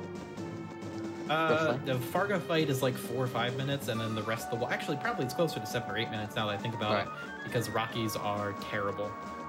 It's it's hard. It really you, you don't appreciate how slow Rockies are until you do this out of bounds a lot, and then you play through the game glitchless, and you have to deal with Rockies because they are so low. They are so slow. All right, if you've got a couple of donuts, you got a minute and 14 exactly starting now. All right, we've got a lot. We have a $100 donation Ooh. from Schooly D who says, "Good Good luck, Bing. Hope you were able to relax a bit after getting death duped for 60,000 viewers. Thanks for the GDQ staff for including our game this year. Yo, school, thank you. And also shout out to school. He uh, he found the setup for that with saying to use boots. Thanks again, dude. We have $5 from RPP who says, Good luck, Bing. So glad you finally got this into GDQ. Ban fish sticks and break through guilty. Thank you, RPP. $25 from Jonathan172 who says, Gonna miss another run for another game I never got to finish, but maybe someday. Good luck on the run and remember not to do the thing you're not supposed to do. exactly. Thank you. I will remember. We have a $50 donation from Winslash who says, Ah, yes, Quest 64. Fond memories of tying a rubber band around the controller to run around in a circle to grind out agility. I wish 10 year old me knew there were better ways. Thanks for running this, Bing. Thank you for the donation, my dude. We have another $100 donation from Milgrips25 who says, I don't know this game. I don't know what to say. All I know is there's monsters to slay and spend a 100 bucks in my name. oh, thank you. All right, so we we are uh, at the end of Boil Hole. Uh, as you can see, there's Fargo down there, just kind of staring into space, really, really confused uh, why we're not fighting him. Uh, if we were to have uh, fought him, we would actually stand uh, just out of bounds over that little volcano right there. He would walk up to us. He would use his close range attack over and over and over and over and over again, and we'd be standing just out of his reach, laughing at him, dropping rocks on his head. It's pretty. It's pretty funny. All right, go. We're gonna run to the exit here.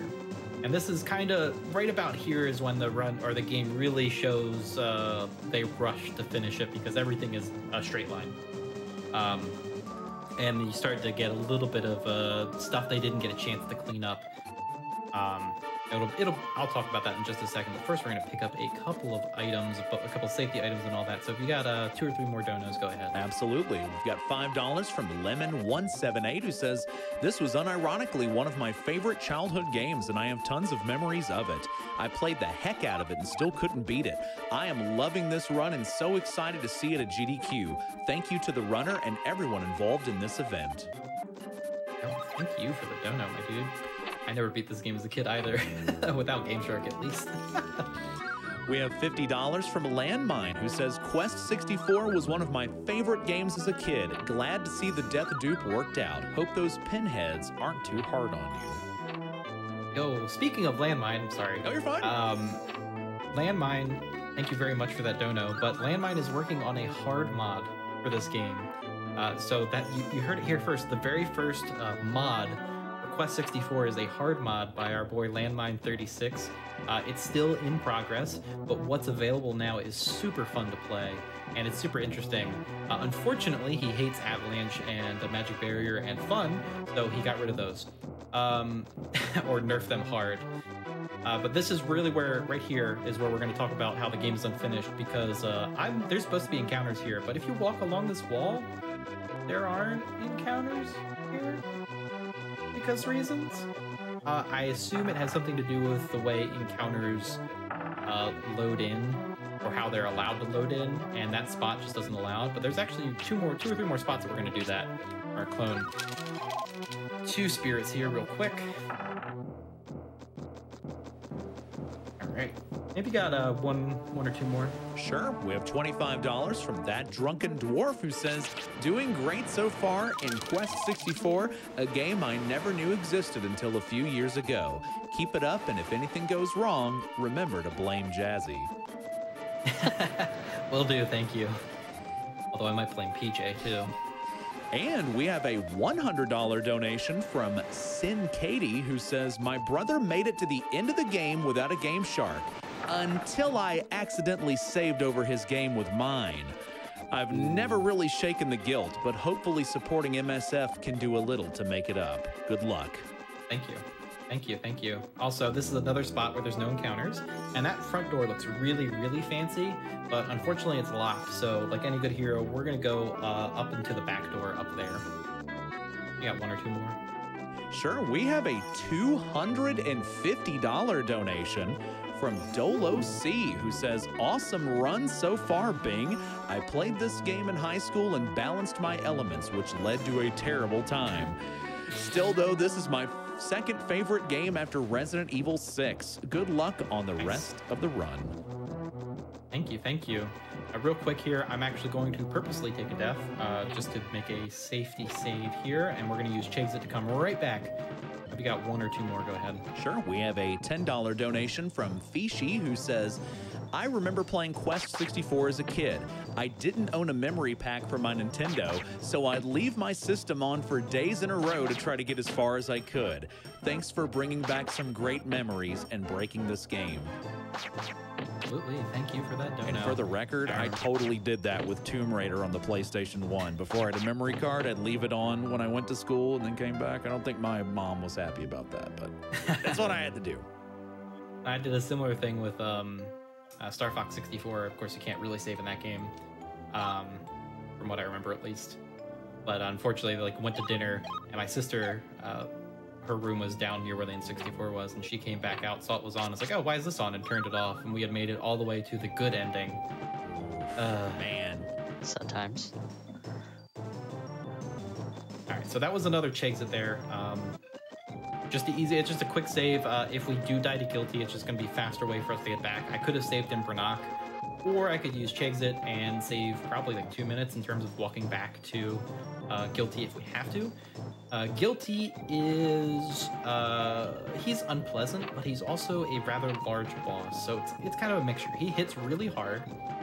Uh, he gets hit a lot because he's rather big, uh, but he's also uh, he has no element. So in the U.S. version, there's only two enemies with no element, Guilty and Mammon.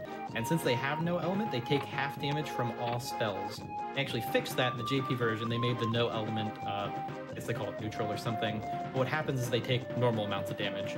Uh, they're not weak to anything, but they're not strong against anything, and that is.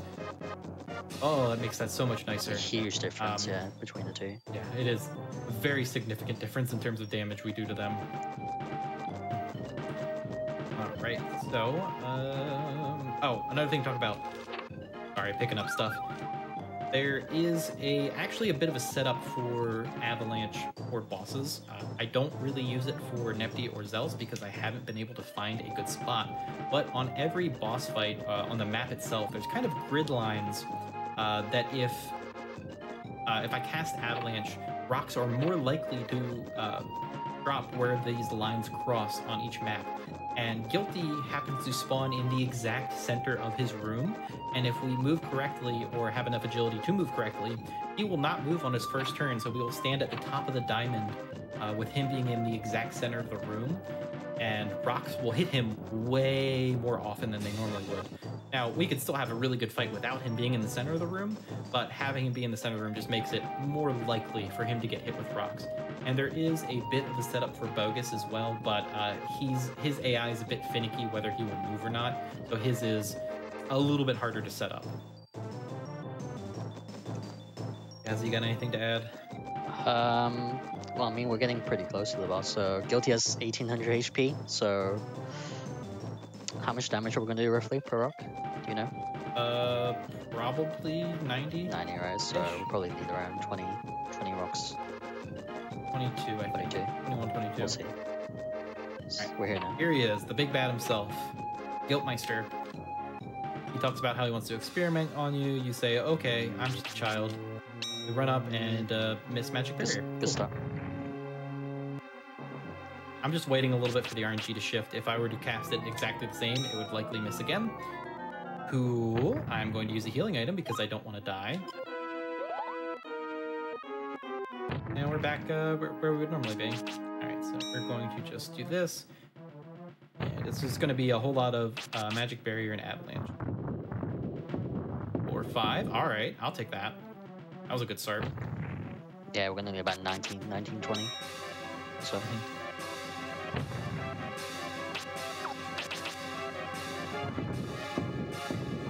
Seven.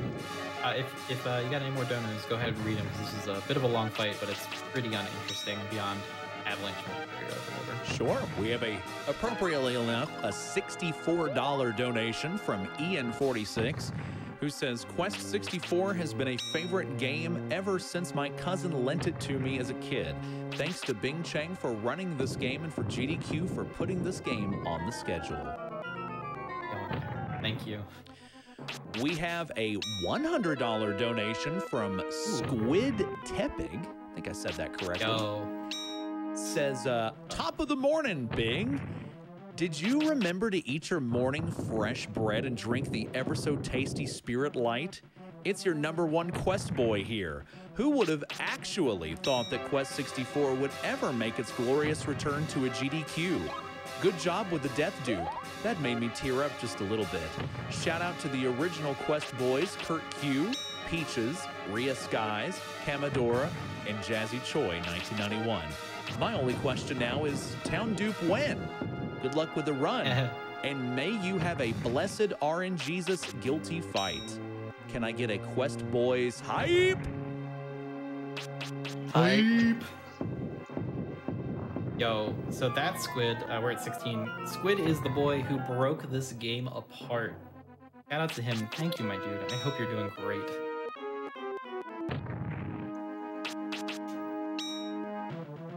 Just got more. Keep Oh, absolutely. They keep on coming in for this one.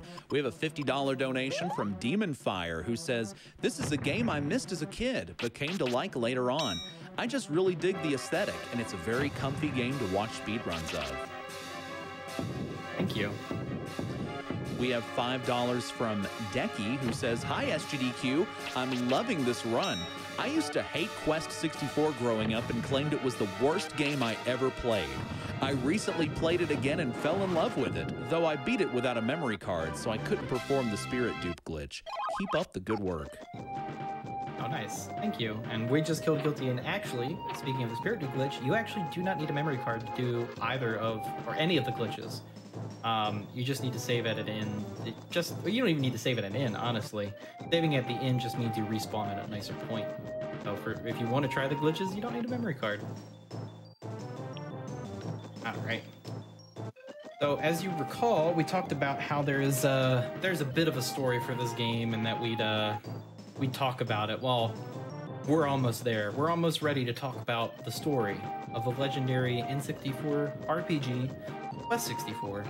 But I need to go grab a couple items and save real quick. Talk about it.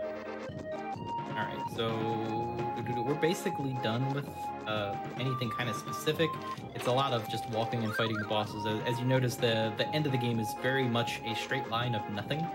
Uh, they tried to spruce it up a little bit with different rooms, but uh, running in a circle in this same looking hallway for like six minutes is uh, not great.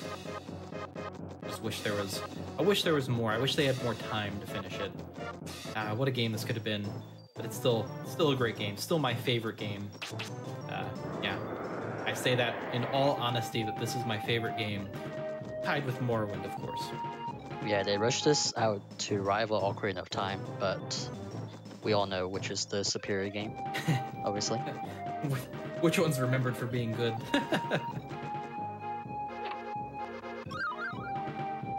Alright. We're gonna go in here, grab three items, one, three, and five. I think one of them is the healing, two of them's MP items. Uh, this. First one is the MP items.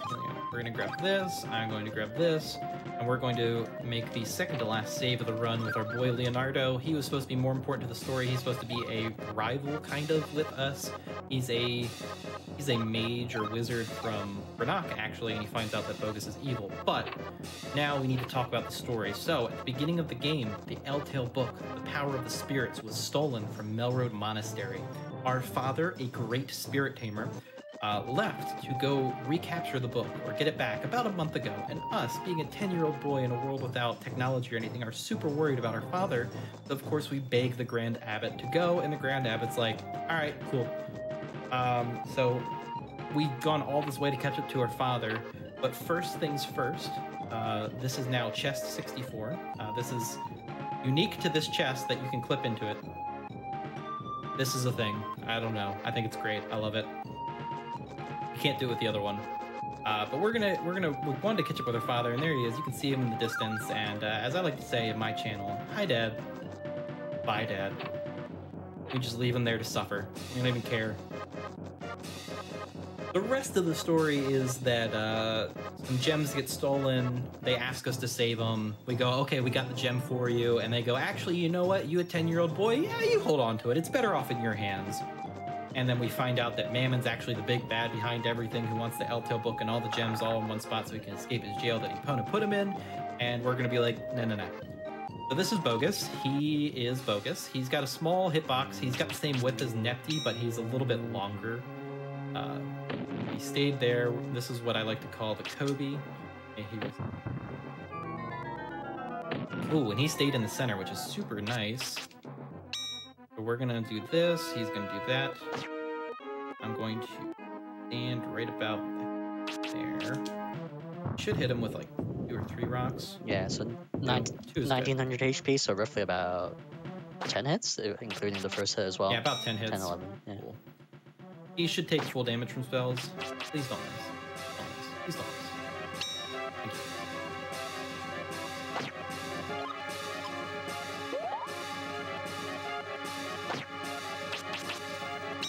Same thing again. Magic barrier, avalanche, magic barrier, avalanche. It's just so, so, so strong. And he, since he's a fire element, he takes full damage from spells, so he's uh, pretty whatever in terms of just you just need to actually hit him. Three.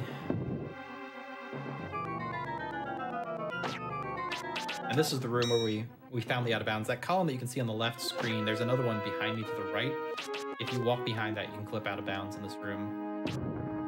Oh, this is not a good fight. What is that? Five, Four, I think. That's four. four, great. Four plus the one at the beginning. Right. Four and change.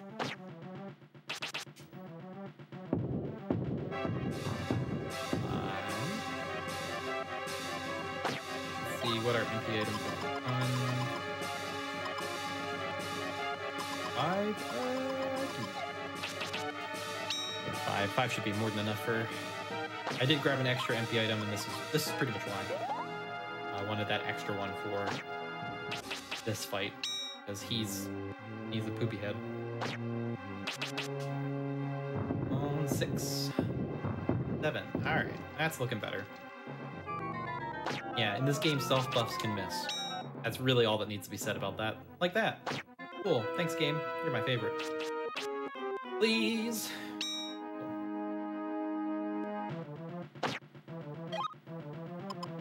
Healing item because I don't want to die.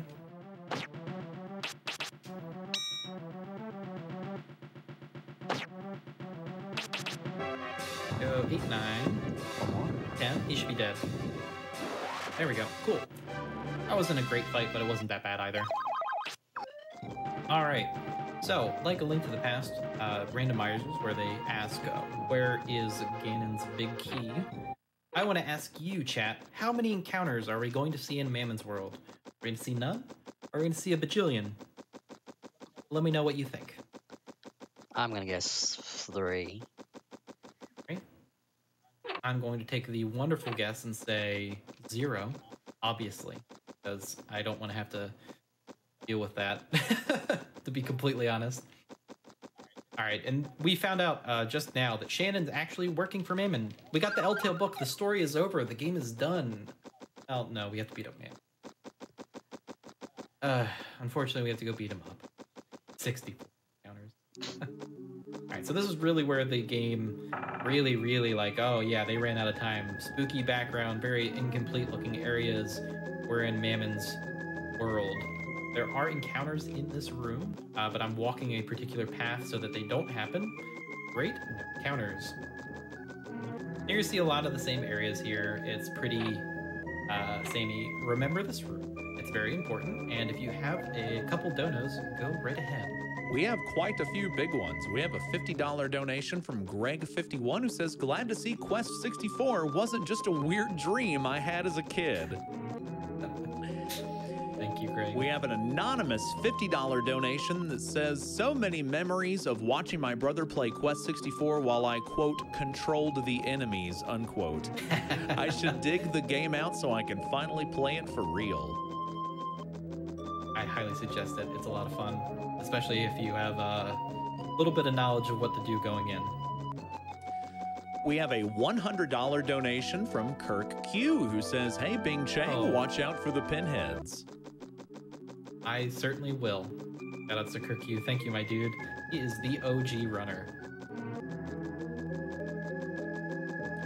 We have we have fifty dollars from Gerg, who says, "Honestly, forgot this game existed, and now I am flooded with memories of drawing maps on graph paper and writing out spell lists in what was probably one of the first RPGs I ever played. Thanks, Bing." Nice. Thank you. Also, this is the first room we can get encounters, and we got super lucky with no encounters. This next room is the second room with encounters. Good start so far. Uh, yeah, keep them going if you got them. We certainly do. We have a $131 donation from Nick75. They say, Oh, Quest 64, they don't make them like this anymore. Here's $1 for every duped spirit. Oh, nice. Thank you. Uh, so that was the Pinhead. They are the destroyer of dreams, the ruiner of my life.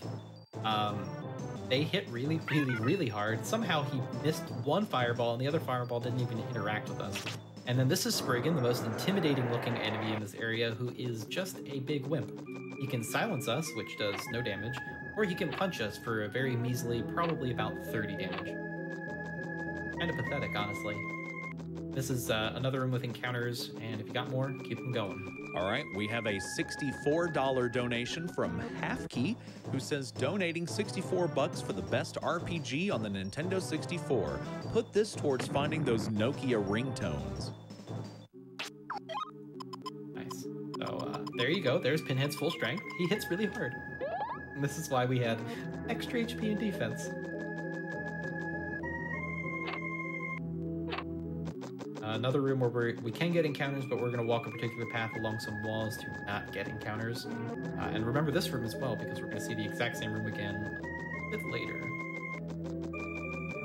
All right, keep them going. We have a $20 donation from Paxis, who says, Hi, GDQ, longtime viewer and donator. Want to donate some more? So take my money and just keep up the good work for a good cause. Love to all involved in this. Shout outs to the BBV community. And like always, greetings from Germany. Oh, thank you. Oh, uh, so speaking of which, it's this room again, but slightly different colored. But uh, since we want to save some time for uh, GDQ Marathon, let's do the shoutouts now, shall we? So shoutouts to Kirk and Peaches, the original OG runners of this game. Thank you for the inspiration to really start running this game. Shoutouts to Jazzy. Thank you for helping me here and also being uh, one of the early runners as well. Shoutouts to Squid for breaking this game apart. And then shout outs to Ria, uh, School, Marsh, uh, Flan, every other name that I'm forgetting right now. I'm sorry, but all the Quest community, thank you all guys for being here for this entire thing. I really appreciate all you. Uh, thank you, GDQ, for having me and allowing me to show off this glorious, glorious mess. And shout outs to you, the viewers at home, making this all possible. I appreciate you. Yeah, we gotta thank Bing Chang as well, giving a chance to see, see this game as well today. And here's Epona, the last save in the game. You probably noticed that second save I have with uh, uh, 99 spirits. That's a hard mod save. Uses the same save files as this does. I promise I wasn't cheating too much. This is the Dark Melrode, and then this room again uh, looks exactly the same, but uh, it leads to a slightly different spot. We are nearly at the end. Uh, when Mammon blows up is time. We are pretty, pretty close. We weren't joking when it says they did look exactly the same. Yeah, it's literally the same room, just the doors have different triggers. And uh, yeah, and most importantly, I, I totally forgot because I've already shouted her out. My uh, my fiance Andromeda. Thank you for all the support. I really appreciate you, and I love you. Jolf gives us the uh, Gale key uh, to allow us to go into Mammon's jail. I guess whatever. Here's Mammon. He looks like the tick. I swear. Look at his face. It's the tick. 100%. Look at that. He's a big, giant barn door. He is impossible to miss. He's, he's, uh, he's, I don't know. He's a boss, I guess. Least four. So you can only see four hits, which is why I took my headphones off so I can listen to the game. Oh, if you got any more donuts, go ahead. Absolutely. We have a $25 donation from Sambo who says if Apple were to sell pies, they could sell apple pies without any actual apples in them. Hmm. Let's see. We have a $25 donation from Vicarious Vice who says, with all these clever out of bounds glitches and other exploits, you've proven that Brian wins over Braun. I'll show myself out. Thank you for that one. We have a $5 donation from Dashneer who says, a $5 train, the Twitch chat rallying call. Here's my donation. Snuck another haiku in there.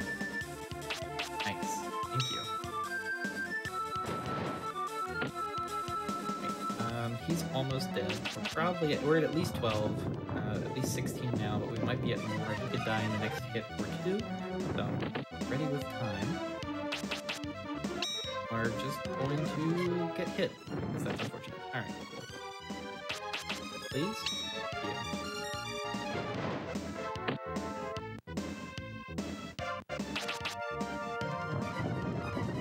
Oh yeah, he's an absolute unit, you're right. Okay. One more hit should do it, but we're gonna be a little bit safe because I don't want to have to fight him again. Already died twice, the bosses.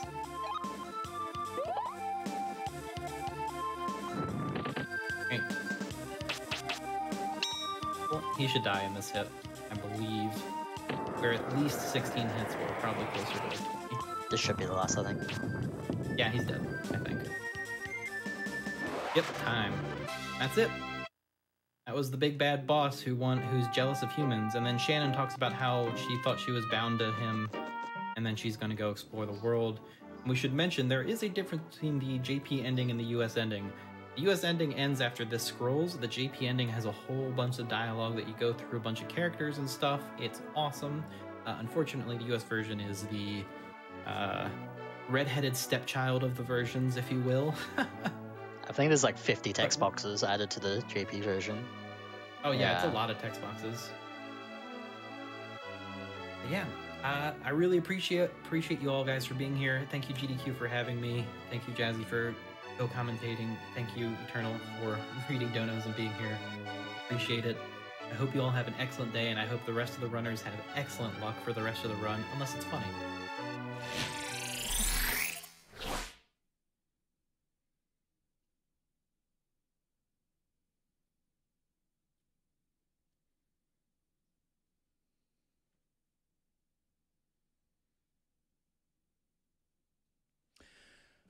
All right. Thank you very much for that run. That was an amazing run of Quest 64 by Bing Chang. Excellent stuff. Thank you very much for the run. Coming up next, we've got a few, uh, looks like the 16 bit block. We got some Genesis and some Super Nintendo games coming up here on Summer Games Done Quick 2020 online.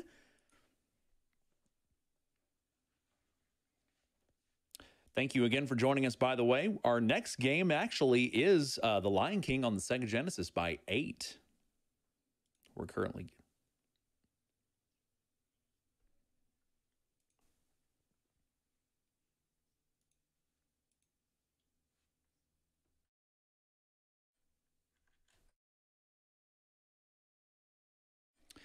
All right, we've got a few more donations that have come on in. We've got a $10 anonymous donation that says Lion King hype.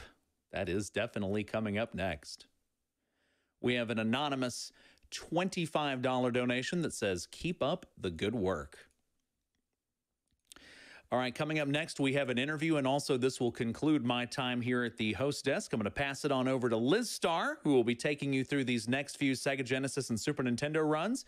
As mentioned, we have The Lion King by 8 coming up next. Liz Starr is going to take over the desk. It's been an absolute pleasure to host these runs with you, and I'll see you again here. For me, it'll be early Wednesday morning. Take care, everybody, and Liz Starr coming up next, and we've got another interview.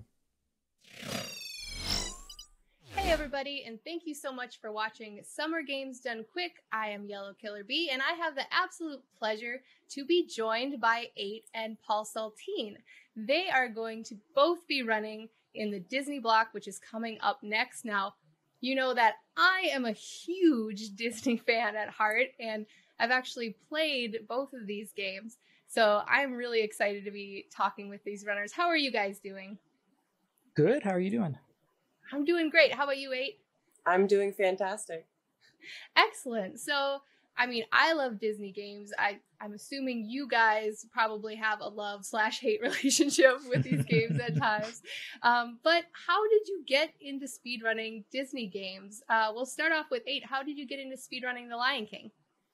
Well, I actually was a big fan of the game as a kid um, I got to Scar, and it's actually not very intuitive how to end the game. It doesn't tell you that you have to throw Scar off of Pride Rock, so I never finished it. So I kind of had unfinished business with the game. Mm. And um, my friend Nicole was running the Super Nintendo version, so I thought to myself, wouldn't it be cool if two friends were both running this game but different versions of it? That's great. I can definitely relate to that kind of unfinished business uh, scenario with my own games. And how about you, Paul? How did you get into Castle of Illusion? Uh, it's kind of similar, honestly. Um, I didn't necessarily have this game as a kid, but my sister did. Um, so, I mean, as children, we didn't really make it very far in the game, to be honest. Uh, you know, level one, level two, uh, and whatnot. But after a while, um, of not playing it, being an adult, streaming and whatnot, I had the cartridge, uh, the same cartridge I had as a kid, and one day for a stream, I was like, "Yo, let's just casually play this. I haven't touched it in like 20 years. Let's see, you know, let's see what kind of game it is." And I managed to beat it on stream for you know the first time ever, and I had like a lot of fun with it. So kind of kept going back with it, you know, getting a little bit better, a little bit better each time until we decided to just leap right on in yeah, it really kind of sneaks up on you with Castle Illusion. You're yeah. like, oh, you know, there's there's not like it, it doesn't seem like a huge amount of speed tech when you're playing it, and you're like, oh, what about the speed run? But it's just such a fun game to play. It, Absolutely, it really is. Um, so eight, I want to know, like you are running the Genesis version of the Lion King, and there's also a Super Nintendo version. So can you tell me a little bit about the difference between the two? A lot of people think they're exactly the same. Yeah, um, they're actually very different. The level layouts are all quite a bit different. Not all of them, but most of them are quite a bit different. Um, Simba is more floaty on the Genesis version, and just the physics in general are kind of different. There's a lot of differences, but you would have to really kind of dive deep into both of the games to notice the differences or like run one or the other, I suppose. Uh, also, Simba is a lot more vocal in the Super Nintendo version of the game. Is that true? Cool. Yeah, he just says cool for everything. Just cool. Cool. Cool. cool. I remember that. I actually haven't yeah. played the Genesis version, but yeah, for the Super Nintendo version, I do, I do remember that. So, um, as I said, you know, the, the for the Lion King, I have tried it and it was really hard. Uh, a lot of these Disney games just seem to be very difficult, which is kind of a juxtaposition between, you know, you think it's this kids game, this Disney game, um, but yet you get into these games and it's like, wow, the the barrier to entry is just huge. And eight, you were kind of talking about, um, you know, something that you had found out about why that was. Yeah, it's actually kind of funny. The devs were instructed by Disney to make the game as difficult as possible so that people couldn't beat it from like a video store like Blockbuster or, you know, just a store of that ilk within one rental period. The idea was that they would have to rent it several times or eventually just buy the game. That's so crazy because it's it's like not what you would expect from a Disney game, but yet it makes for a really great speed run. So, um, Paul, when you're uh, playing Castle Illusion, like the difficulty there is often in the movement. Like a lot of the things that seem kind of deceptively easy can be really hard. Can you talk about that a little bit? Yeah, so I unlike a lot of other speed games, Castle of Illusion doesn't have any crazy like clips or glitches or insane things that look like you know, off the walls hard or anything. Uh, the difficulty in Castle of Illusion kind of is in yeah those very simplistic movements so, like for example, the stage, the very first stage in Toyland, we call it the climb. just by looking at the speed run, it kind of just looks like you're walking to the top of this room. You know, you're climbing up some stairs, you're going to grab a key. But I mean, in actuality, what's going on is like each jump, each position of a jump, where you land on a block, where you take damage, how you damage boost through enemies, is all calculated. And like just one mess up throws everything off the walls. And then you gotta kind of try to, uh, you know, recover from that and find a backup to get up without dying or you know losing too much time. It's very subtle. Yeah, I can attest to that as well. The climb ended many a run for me. Yeah. in in my day. And then uh so 8 for the Lion King, the movement plays a big part in it as well, but then there's also um some larger skips. Yep. Um, in level eight, which is called Be Prepared, I do a clip and I skip the whole level right to the auto scroller at the end of it. Perfect. Just take care of that whole level. Just get rid yep. of it. uh, so as we're kind of wrapping up here, I do want to kind of touch base and see how you guys are feeling coming into this run. Now, uh, eight, you do hold the world record in two of the categories for this game. And then Paul Saltine, you just got a PB last Thursday, and basically, what was your final practice uh, stream before yeah. GDQ? So, so how are you kind of feeling? Uh, are you are you prepared, Eight? Do you feel like you're prepared coming into this? yeah, I actually I'm I'm confident. However, um, I will be if I if my incentive gets met and I play difficult, um, I will be starting the game with zero lives. Hmm. So um, there's a huge chance, well, not a huge chance, but there's somewhat of a chance that I game over. But mm-hmm. it's fine. I'll be fine. Mm-hmm. I'll be good. I'm confident. what about you, Paul?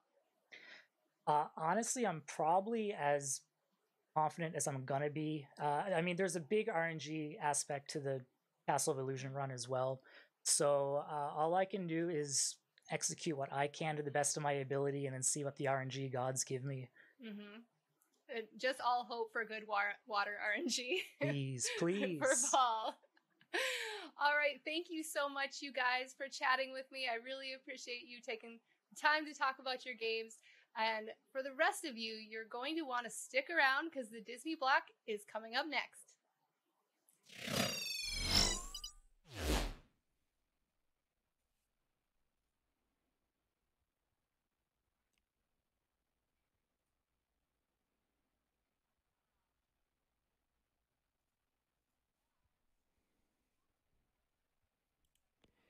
Hello, everybody, and welcome back to Summer Games Done Quick 2020 Online. My name is Liz Starr, and I'll be your host for the upcoming Genesis block. I'm super excited. You know that I am. Uh, before we get to that, however, we're still getting set up for the next run. So don't go anywhere, friends. We're going to throw to a quick Twitch ad, and we'll be right back.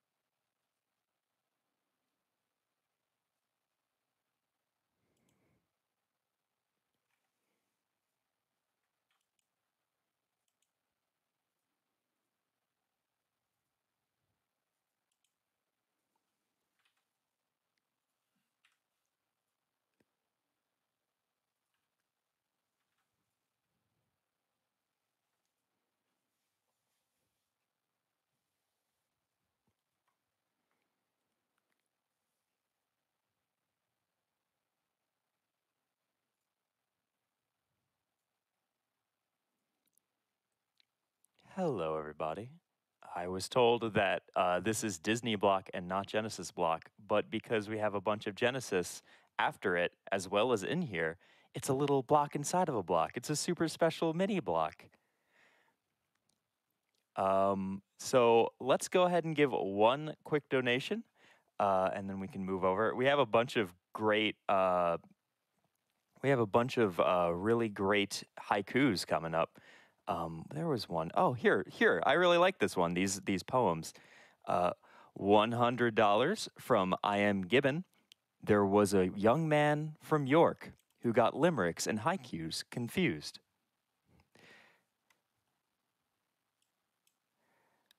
I liked that. That was good. Uh, all right, so uh, give it up, friends. Next up is eight with the Lion King.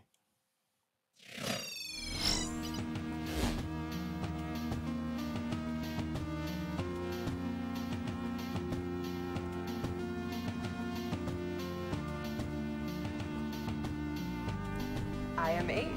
This is The Lion King for the Sega Genesis, and